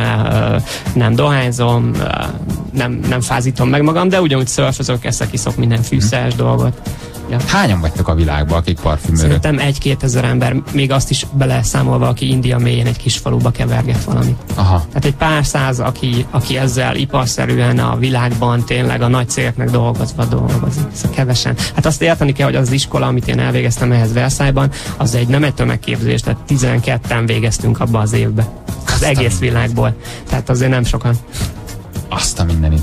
És például az egy, egy ilyen ruhaillatosítót akar venni az ember, vagy egy szobaillatosítót, ez horror drága? Tehát ez Nem, megfizethető? Szerintem ez egy ö, nagyságrendileg egy ö, euróból látszom, egy 20 ezer eurós összeg. Tehát 20 azt kell- ezer euró? Forint. Ja, Ez azért, azért, mert akkor más, más összegek között mozgunk azért. Nem, nem. Nagyságrendileg. Tehát 20 ezer forint. Jó, akkor most eh, mondod, mondok egy érdekes. Nyilván most olyan illatokat hoztam, amit nem szagolhatok bárhol, mert tehát az unalmas lett volna behozni, amit ismertek, ráadásul reklámetikailag sem Persze. szép arról beszélni, ami akkor nem melyiket preferálom. Tehát olyan illatokat hoztam, amik úgynevezett nis parfümök. A nis parfümöknek az a lényege, hogy va- vannak a parfümörök, dolgoznak reggeltől estig a nagy márkáknak, és így után megunják, hogy megmondják nekik, hogy olyan legyen a parfüm, mint amilyen tavaly volt a legtöbbet eladott. Uh-huh. És ezért a parfümipar eléggé nem kreatív mostanában a nagy márkákat tekintve, vagy az ismert tömegmárkákat tekintve. A kis különleges márkákat meg nem érdekli ez, szerencsére nem kell nekik egy akkora forgalmat generálniuk. Spici manufaktúrák van, itt hoztam olyat, amelyik, mit tudom a- mutass egyet, megszagolj. Férfi, női parfüm, milyen? E- ezek a, ezeknek a nis parfümök, tehát a különleges kis manufaktúráknak az illatainak az a lényege, hogy nincs eldöntve, nincs ráírva legtöbbször, hogy férfi vagy női, mert az egyedi testillatot dönti el, és a személyiséget, hogy jó-e neked vagy nem. Na mutatok egy nagyon érdekes illatot, amire kíváncsi vagyok, hogy mennyire vagytok alkoholisták. Bejönnek. Akkor nekem mutasd. Rendben. Igen, az a Ferié lesz. Tessék, és adjátok légy tovább, hogy milyen alkohol ez. Ez ánizs. Így van. Egy, Tehát egyébként igen. Ánizs. Az. Rengeteg abszintot ittam régen. Húzó, abszint megvan. Adjátok, hogy nagyon kéri. Adjátok, adjátok az elég. Jól mondjuk Na, egyébként? Így van, nagyon jól mondjátok, ez konkrétan egy pastis vagy úzó vagy ánizs likőrnek a parfümmevő megfogalmazása, ami döbbenetesen izgalmas I- dolog. Szuperság, ilyet nem érzel az átlag. Elképesztően Ez például egy olasz manufaktúra csinálja. Akkor maradjunk a szeszeknél, adok egy másik dolgot. Mert a parfümiparnak ez a kis szegmense, amiben ilyen különlegességet árulnak, és nem költenek erre bődetes pénzt reklámra, és ezért ugyanolyan áron tudják adni. Tehát ilyen 20-30 ezer fontos összegek ezek, amiket hoztam mint amennyibe egy normál parfüm kerül, mert nem költenek reklámra. De ezt nem is ismeri mindenki. Ezek a kis gurmand dolgok, amiket nem lehet megvenni, csak ilyen kis szakból. Ez, ez valami ez valami olyan tömény, ami vagy vodka, vagy pálinka, tehát hogy ez valami, nagy, ez valami komoly uh, alkohol százalék. Add oda neki a kupakot, légy szíves, és abban még jobban lehet majd Add a. Ferinek. Feri megmondja. Nyugodtan. megmondja. Egyébként vicceltek, de amikor parfümbemutatót tartok, és így kifújkálok jó sok illatot, akkor utána én aznap már nem ülhetek autóba, mert mm, leköröz engem a yard, és ö, belefújok, akkor a szányákvártyán a parfümökben levő alkohol felszívódik. Ez- És egy cseppet sem ittam, és elkapnak. Ez olyan, mint a, a rum, vagy az Az unikum. jó Tehát, felé hogy- megyünk. Tehát Igazán. valamilyen gyógynövényes, ilyen, ilyen kicsit ilyen, olyan, olyan, mint a, hm, Az biztos, unikum jellegű, megyünk, hogy- valami gyógynövényes történet. Tehát növényes túl drága nekem, nem jó. nem Nem, ígért. nem igaz, hogy nem ittál, mert mindenki ivott már, csak azért érdekes, mert az orratok nem így működik, tehát ha nem, ha parfümöt mutatnék, ilyen egyszerű illatot, hogy citrom, akkor egyből tudnátok. Persze, De mivel persze. olyat mutatok, amit nem parfümparból ismertek, hanem egy másik helyről, gurmand helyekről, ezért nem kapcsoltok egyből, pedig ha kimondom, egyből fogják tudni, ez egy konyak illat. Konyak. Így van, akartad mondani a nyelvem, és ez De a lényeg. azért, hogy Ez a tömény, lényeg. hogy látszik Rum, rajta. Tudtam. Ez egy 13. század óta konyakot készítő cégnek, tehát 1270 óta konyakot készítő cégnek az illat, és gyönyörű szépen megfogalmazták Azt a tölgyfahordóban érő ilyen gyümölcsösséget, meg a mazsolásodó öreg konyakot. Nagyon szép. Én ezt egy idősebb emberen tudom például elképzelni. Valahogy nekem azt, ez nem egy fiatalos Télen illat. fás illat, így van. Igen. Tehát nem Fás illat. Jót, Na, jót- lássuk. Oké, hadd szóljon. Hú, nagyon, nagyon Akkor uh, játszunk még. Mutatok egy olyat, amit én csináltam. Az egy saját kreáció? Igen, ezt én csináltam egy svájci-amerikai cég. Férfi, női? Ö, elvileg rá van írva, hogy men, de ezt például Amerikában több nő veszi meg, mint férfi. Tehát ez is mutatja, hogy a, a kreativitás és a, a marketing az két külön csapáson megy néha. Megmondhatjuk? Tehát Mindent kitalálható? le is szólhatjátok, mindent mondhatok. Istenem, az a de jó illat. Wow. Oké, oké, Ez adom a borítékot. illat. Ez egy kicsit, kicsit fűszeres, de elsősorban egyébként számomra inkább nőies illatnak tűnő illatanyag. Egyébként az összetevőket én az összetevőket ebből nem tudom Úgy megmondani, még az alkoholt. megmondani, Nem, is kell, á. Nem az a lényeg, hanem az hogy Zseniális. milyen. Zseniális egyébként. Abba Mélysége szinte van az biztos illatnak. vagyok, hogy ebben van valamilyen virág. Valamilyen virágillat. Én, Ez így van. mert ez természetes illat, tehát hogy ez nem egy ilyen... Jaj, nem, nagyon nem, sok természetes nem, gyümölcsöt, ko, nem, nem ilyetet konyak, meg ilyesmi. Szerintem van benne gyöngyvirág. Ez így van, hihetetlen jó vagy. Gyöngyvirág akkordot tettem bele, gratuláció. Nagyon jó. Na, a Nagyon jó. 13. parfümőrünk. Így van. A 12 Versailles-ból. Isten éltesen Az második új or. magyar master. Az orr, yeah.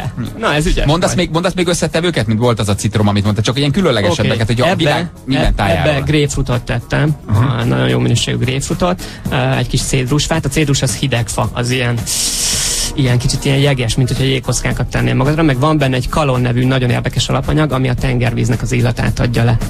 Többenet. És e- ülsz egy üres szobába, nézel magad elé, és akkor egy hét, két hét, egy hét, nem tudom mennyi, és akkor csak így beugrik, hogy kis tengervíz, kis kalon, kis cédrus, és akkor megvan az illat. Tehát ez Igen, és egy álmodik az ember? Pontosan így van. Tehát most mutatok egy illatot, amit francia parfümőr lány csinált úgy, hogy elment Róma mellett egy kertbe, leült, és azt mondta, hogy annyira tetszik az illat, hazament a nyaralás után, és szerette volna emlékbe magának. És összetette, és, és megkomponálta van, azt az illatot? Ez Megcsinálta, hogy mediterrán kert Róma mellett. Ez gyönyörű szép. És egyébként tényleg, és tényleg ez. És fügefaliget van benne. Tényleg. A citrusfélék, a pineák, minden benne Kicsit van. a fának, levendula. kicsit a fűnek, Egyértelműen. kicsit a A levegőnek fű az az nagyon jó, így van, tehát ezt úgy hívjuk, cut grass, frissen vágott fűt Így van, így van, érezni benne szagod, meg Feri, zseniális. Tényleg olyan, mint amikor kiülsz egy ilyen mediterrán országba, egy ilyen kertbe, mint tudom, kávézol, teázol, beszélgetsz hajnalig, és, és közben ezt az illatot érzed, és a kabócák meg kicsit ott még így kavírnyászak a fákon. Nagyon jó. Hú, hát, hát nagyon érdekes volt, és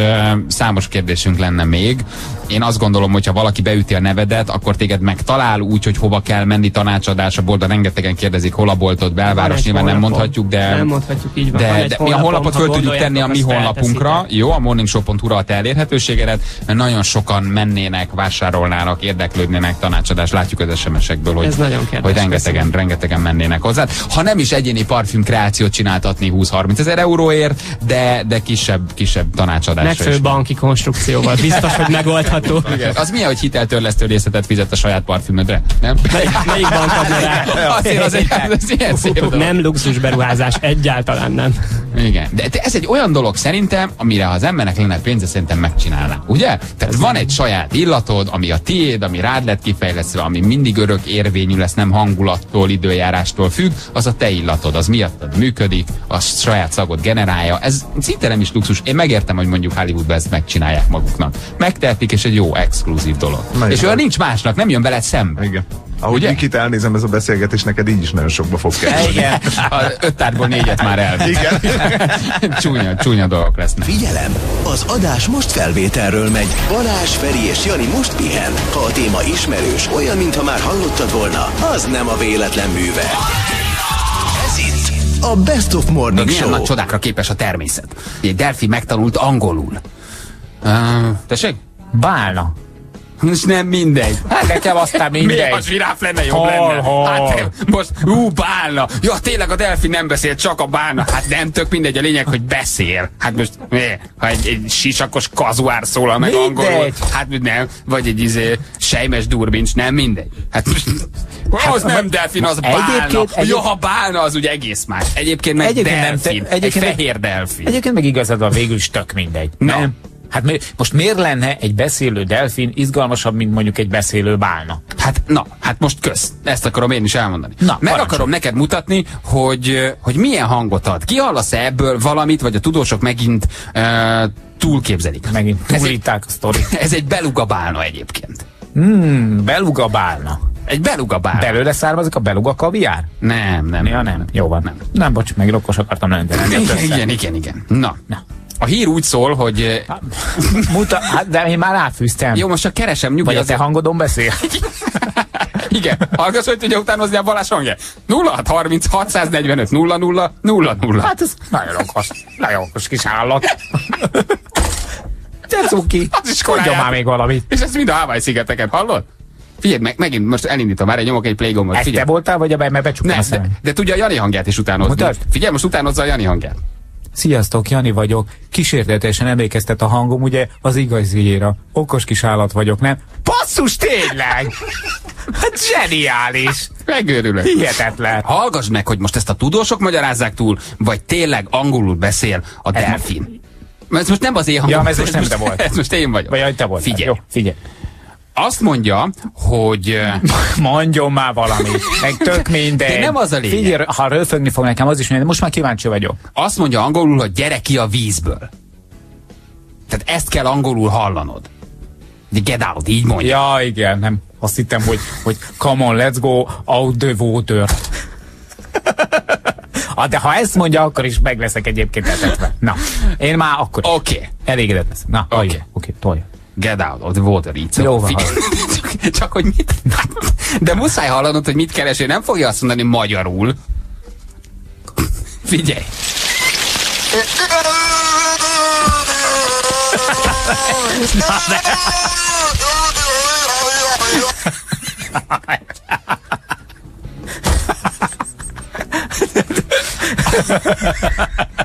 Oké. Nem A azt mondta, hogy tudomány- imádom a csavapcsicsát. Én tökre azt értettem bele.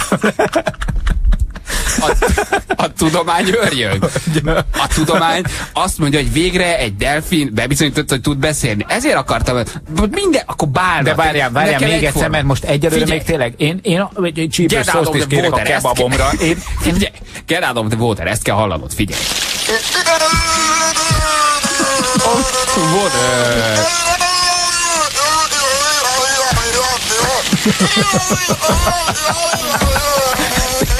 Szerintem Nem lehet, hogy csak meg fekete Lacinak szorulása van. Ja. Lacikám, több rostosat, több rostosat, Lacikám. Nekem kicsit olyan, mint hogy Ricsi Szambura mind, megint be lenne nyomva, mint az állat, és nem tudná Leaving on a Prayer-nek az elejét elmondani. Figyelj, a tudós, a tudósok és a tudomány egyszer meg van őrülve a hír kapcsán, hogy végre emberhangot utánoz, és bebizonyították, hogy milyen okosak, milyen intelligensek, és a buvárok napokon keresztül azt hitték, hogy valaki szórakozik velük, ugyanis a víz alatt nehezen érthető ez a És mondat. állnak de- kimentek a vízből. és aztán visszamentek. Nem, Most már légy szíves, csináltok ezt, nem tudom ki szórakozik, de mennyire anyába. nem mentek ki a vízből, csak ezt hallották napokig. Na. És ekkor megfejtették, hogy ez a bálna, vagy delfin Fordulj meg! beszél. Fordulj meg! Mögött.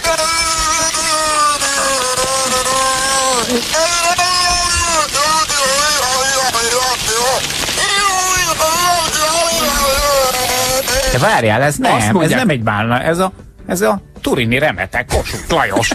Az elveszett Bioszenger, megtaláltuk. Azt mondják a tudósok, hogy állítólag puca szórakozásból és kíváncsiságból próbálja utánozni a körülötte dolgozó emberek hangját. És ugyan a hangképző szerv gyökeresen eltér az emberétől, mégis képes volt ezt megtanulni. Érted? De ez azt jelenti, hogy ott valaki a vízben folyamatosan mondogatta a buvároknak, hogy gyertek ki a vízből évekig, és ezt a bálna hallotta, és ezt tanulta meg?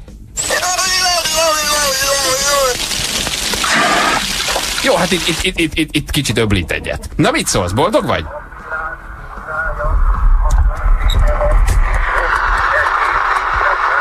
Ez a Kossuth. Ez Kossuth, ugye? Ez az eredeti.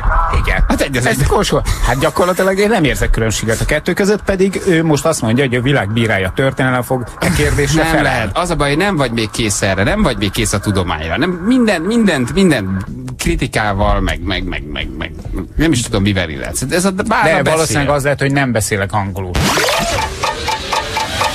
Valami olyat találtam, gyerekek, ami azt gondolom, hogy a ti meggyőződéseteket, a ti ö, világba vetett ideátokat, ideáitokat, és mindent megdönt, a rossz dolgokkal leszámol, és egy újfajta világnézetet indít el bennetek. Lehúzzam a zenét? Ö, nem maradhat, maradhat, most még jelen pillanatban nem, majd ha megmutatom, mit találtam, akkor kell, mert, mert nagyon-nagyon fontos, amit mutatok nektek. Szerintem elgondolkoztok ezek után az élet valódi értelmén, a, a, a, a, a ti létetek értelmén, és a miérteke, ami mindenkit bánt, mindenkit nyomaszt, és mindenki gondolkodik rajta. Egyfajta világszenzáció. Nem kapunk többet céges BKV bérletet? Így van. Bele trafáltál. Mutatok nektek egy hangzást, amit az óceán mélyén találtak, és mindez idáig nem tudják megmondani, hogy mi volt. Döbbenetes, amit hallani fogtok. Döbbenetes. Ez arról szól, hogy ez egy audio jelenség, és ultra alacsony frekvencián indul, majd egy percig folyamatosan ismétlődik, és emelkedik a frekvencia szám. Teljesen egyedi ez a hang, és nem tudják megmagyarázni, hogy honnan jön. De nyugtass meg, te tudod? Nem. De van egy komoly hallgatói bázisunk, akikkel meg tudjuk fejteni. Én szeretném ezt komolyan venni, szeretném komolyan megfejteni. Ha meghalljátok a hangot, ti sem tudjátok máshogy megcsinálni, csak komolyan. Ami megdöbbentő, hogy 5000 kilométeres távolságból is érezték és érzékelték ezeket a hanghullámokat. Ami nagyon-nagyon-nagyon-nagyon nagy szám. 5000 kilométer. Hát ezt gondoljuk el, ugye, az, az írtózatosan sok, ha egy hangról van szó. Tehát volt valahol hangforrása, azt megállapították, hogy hol van, és onnan 5000 kilométerre is érzékelték, és hallhatták ezeket a hangokat. De nem tudják, hogy mi ez. Kíváncsiak vagytok erre a Hát én mindenképpen kíváncsi vagyok rá, hogy mi lehet ez. Ha mondjuk ezek a bizonyos hangok mondjuk egy rosszul zárodó ö, búváruhából származnak, akkor azt felé felismeri. De hát nem tudom, hogy elhaladszik-e 5000 kilométerre. Kezdetben mondták, hogy valamilyen állat, hogy óriás polip, vagy bálna, vagy, vagy delfi lehet, de azt mondják a tudósok, hogy még a kék bálna sem képes ekkora több ezer kilométert átívelő hangot kiadni, amit egyszerűen lehet hallani. Aztán óriás tintahal, tehát mondtak mindent igazából, megpróbálták megmagyarázni, de nem tudják, hogy, hogy mi ez. Még a lábas fejűek fajánál is van valami olyan állatot lent sok-sok uh, kilométer mélyen, ami állítólag adhat ilyen hangot. De nem tudják, hogy mi. Lehet, hogy egy fazékfejű. De figyelj, Nem, szerintem a lábas fejű jobb. Figyelj, 5000 kilométer egybefüggő víztömeg, az most, bocsánat, a hülyeséget Van. kérdezek, de úgy van, hogy, hogy mondjuk szélességi körön számol? Szélességi körön Na, nincs. azért. De hosszúságin van. Tehát, hogyha mondjuk a Grönlandnál valahol elkezd egy bálna dűrögni, mint itt. és akkor lefe- Most még azt gondolod dürrögés. Most még megvetés van a hangban. A rémület, a tanácstalanság, és, a, és, a, és, és, és nem is tudom, a halálfélelem lesz a hangodban, ha meghallod ezt a hangot. Be fogtok pisilni a félelemtől. Hogy mi lehet ez? Hát hagyd ne mondjam egyébként, hogy nyilván ugye azért tudjuk, hogy különböző óceánokban és mindenhova azért föld alatti lények erőszeretettel szállnak le föl. Figyelj csak, ha 5000 Én erre kilométer, ha 5000 Igen. kilométerre még lehet hallani, akkor az milyen hangos lehetett ott, ahol szólt? Ott, ott, ott szem nem maradt szárazon, Feri. És fül? Ott semmi nem maradt szárazon. Annyi lábas fejű károsodod, hallásilag. Neked válnák mindenhol.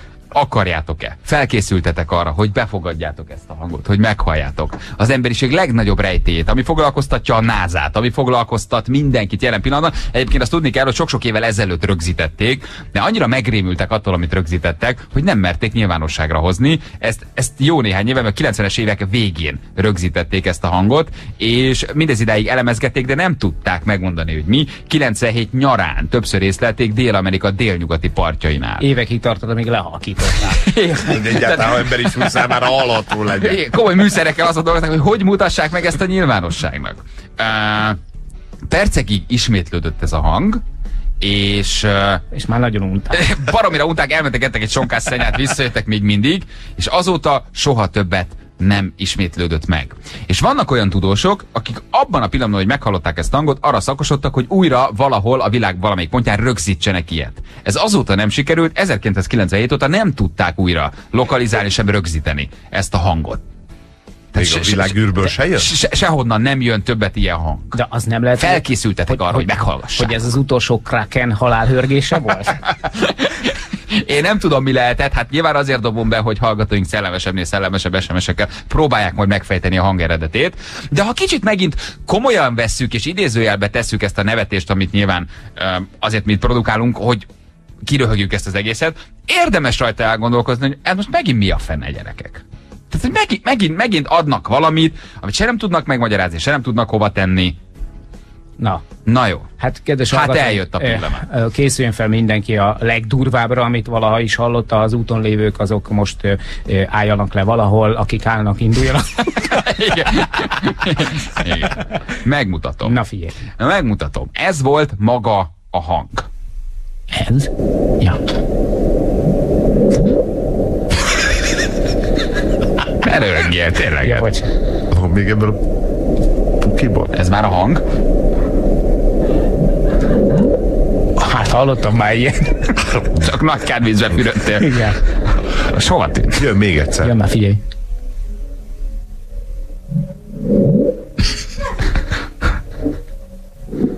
Itt már nagyon mulattam. De szemét vagy. Nálad sűrűben jönnek. Ja, meg Ott van.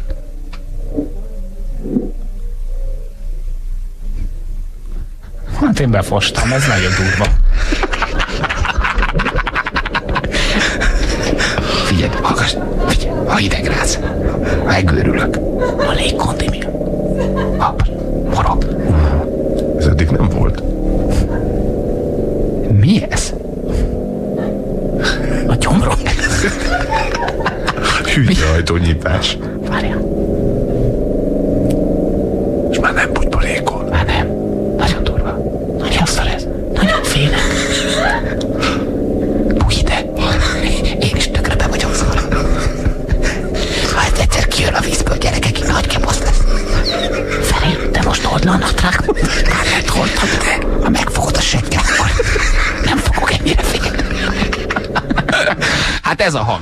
Én mondtam, hogy bepisültek.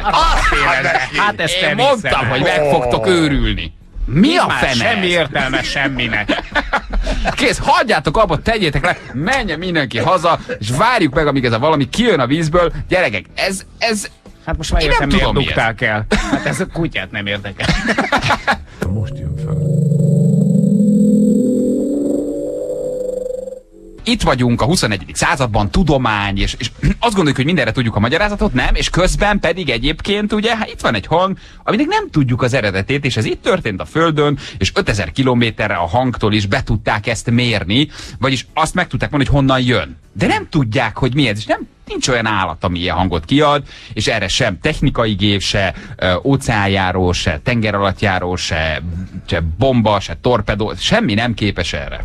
Hát de a mi pultunk is szokott zúgni, és a műszaki igazgatónk szintén nem tudja, hogy mi lehet az. ő is többször, ő is többször beszélt már a názával, hogy mi lehet ez. Na, Fási Zsülike duzzog a víz alatt. Akkor szabaduljon el a pokol. Jöjjenek a, jöjjenek a hallgatói SMS-ek. Ez Páko gyomra egy pacal pörkölt után. Uh, írja D. Biláden volt az óceán mélyéről, és üvölt, hogy nem haltam meg. Aztán Godzilla ébredezik. Uh, én tudom, ez Alekosz volt fél év után. ez nagyfater Simpson motoros vízibicikli. Hülyék, ez nem lehet lábasfejű, mert annak mélyebb a hangja. Ez egy serpenyőfejű volt, írja Balázs. Aztán leszállt egy UFO, az is lehet. Jersey a víz alatt szellent, ez a szagelszívó hangja. Szerintem orosz kém tenger alatt járó, írja egy hallgató egy kicsit komolyabban, valamint ez egy motorcsónak. Aztán uh, Chuck Norris pukizott egyet, valószínű, hogy ez lehet. Uh, ez a hang a bukott visszatérését jelenti. Minek? Hú, magam sem értem. Az Antikrisztusé. Igen. Basszus, ez az anyósom, aki részegen próbál kereokizni. Üdv, Sanya. Aztán, most jöttem a vizsgáról, erre horrort nyomtok? Ö, Keradi kérdezi tőlünk. Ez Vili bácsi haláltusája. Elütötte egy jetski. Gyerekek, gyerekek, lenyelte ö, egy bárna a mikrofont. Aztán Tom Raider egy 8-as pálya. Némó kapitány pukizik. Én gondoltam, hogy a hallgatókra bízzuk ennek megválaszolása, gyerekek okosabbat mondanak, mint a NASA. Nem is várok rá nagyon magyarázatot. Nem kell ezt megmagyarázni. Csak szerettem volna. Miru bácsi visszatért. Ide, Robi. Mi? Igen. Miru bácsi. Kedvenc hősöd. Kedvenc hősöm Miru bácsi. Hát ezt imádtam azt a történetet. Miru bácsi újra itt van. Igen. Imádom a hallgatóinkat, hogy ezt, ezt ennyire komolyan tudják tenni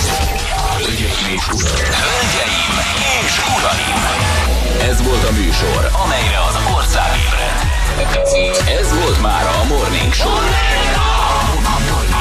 Magyarország leghallgatottabb reggeli műsora.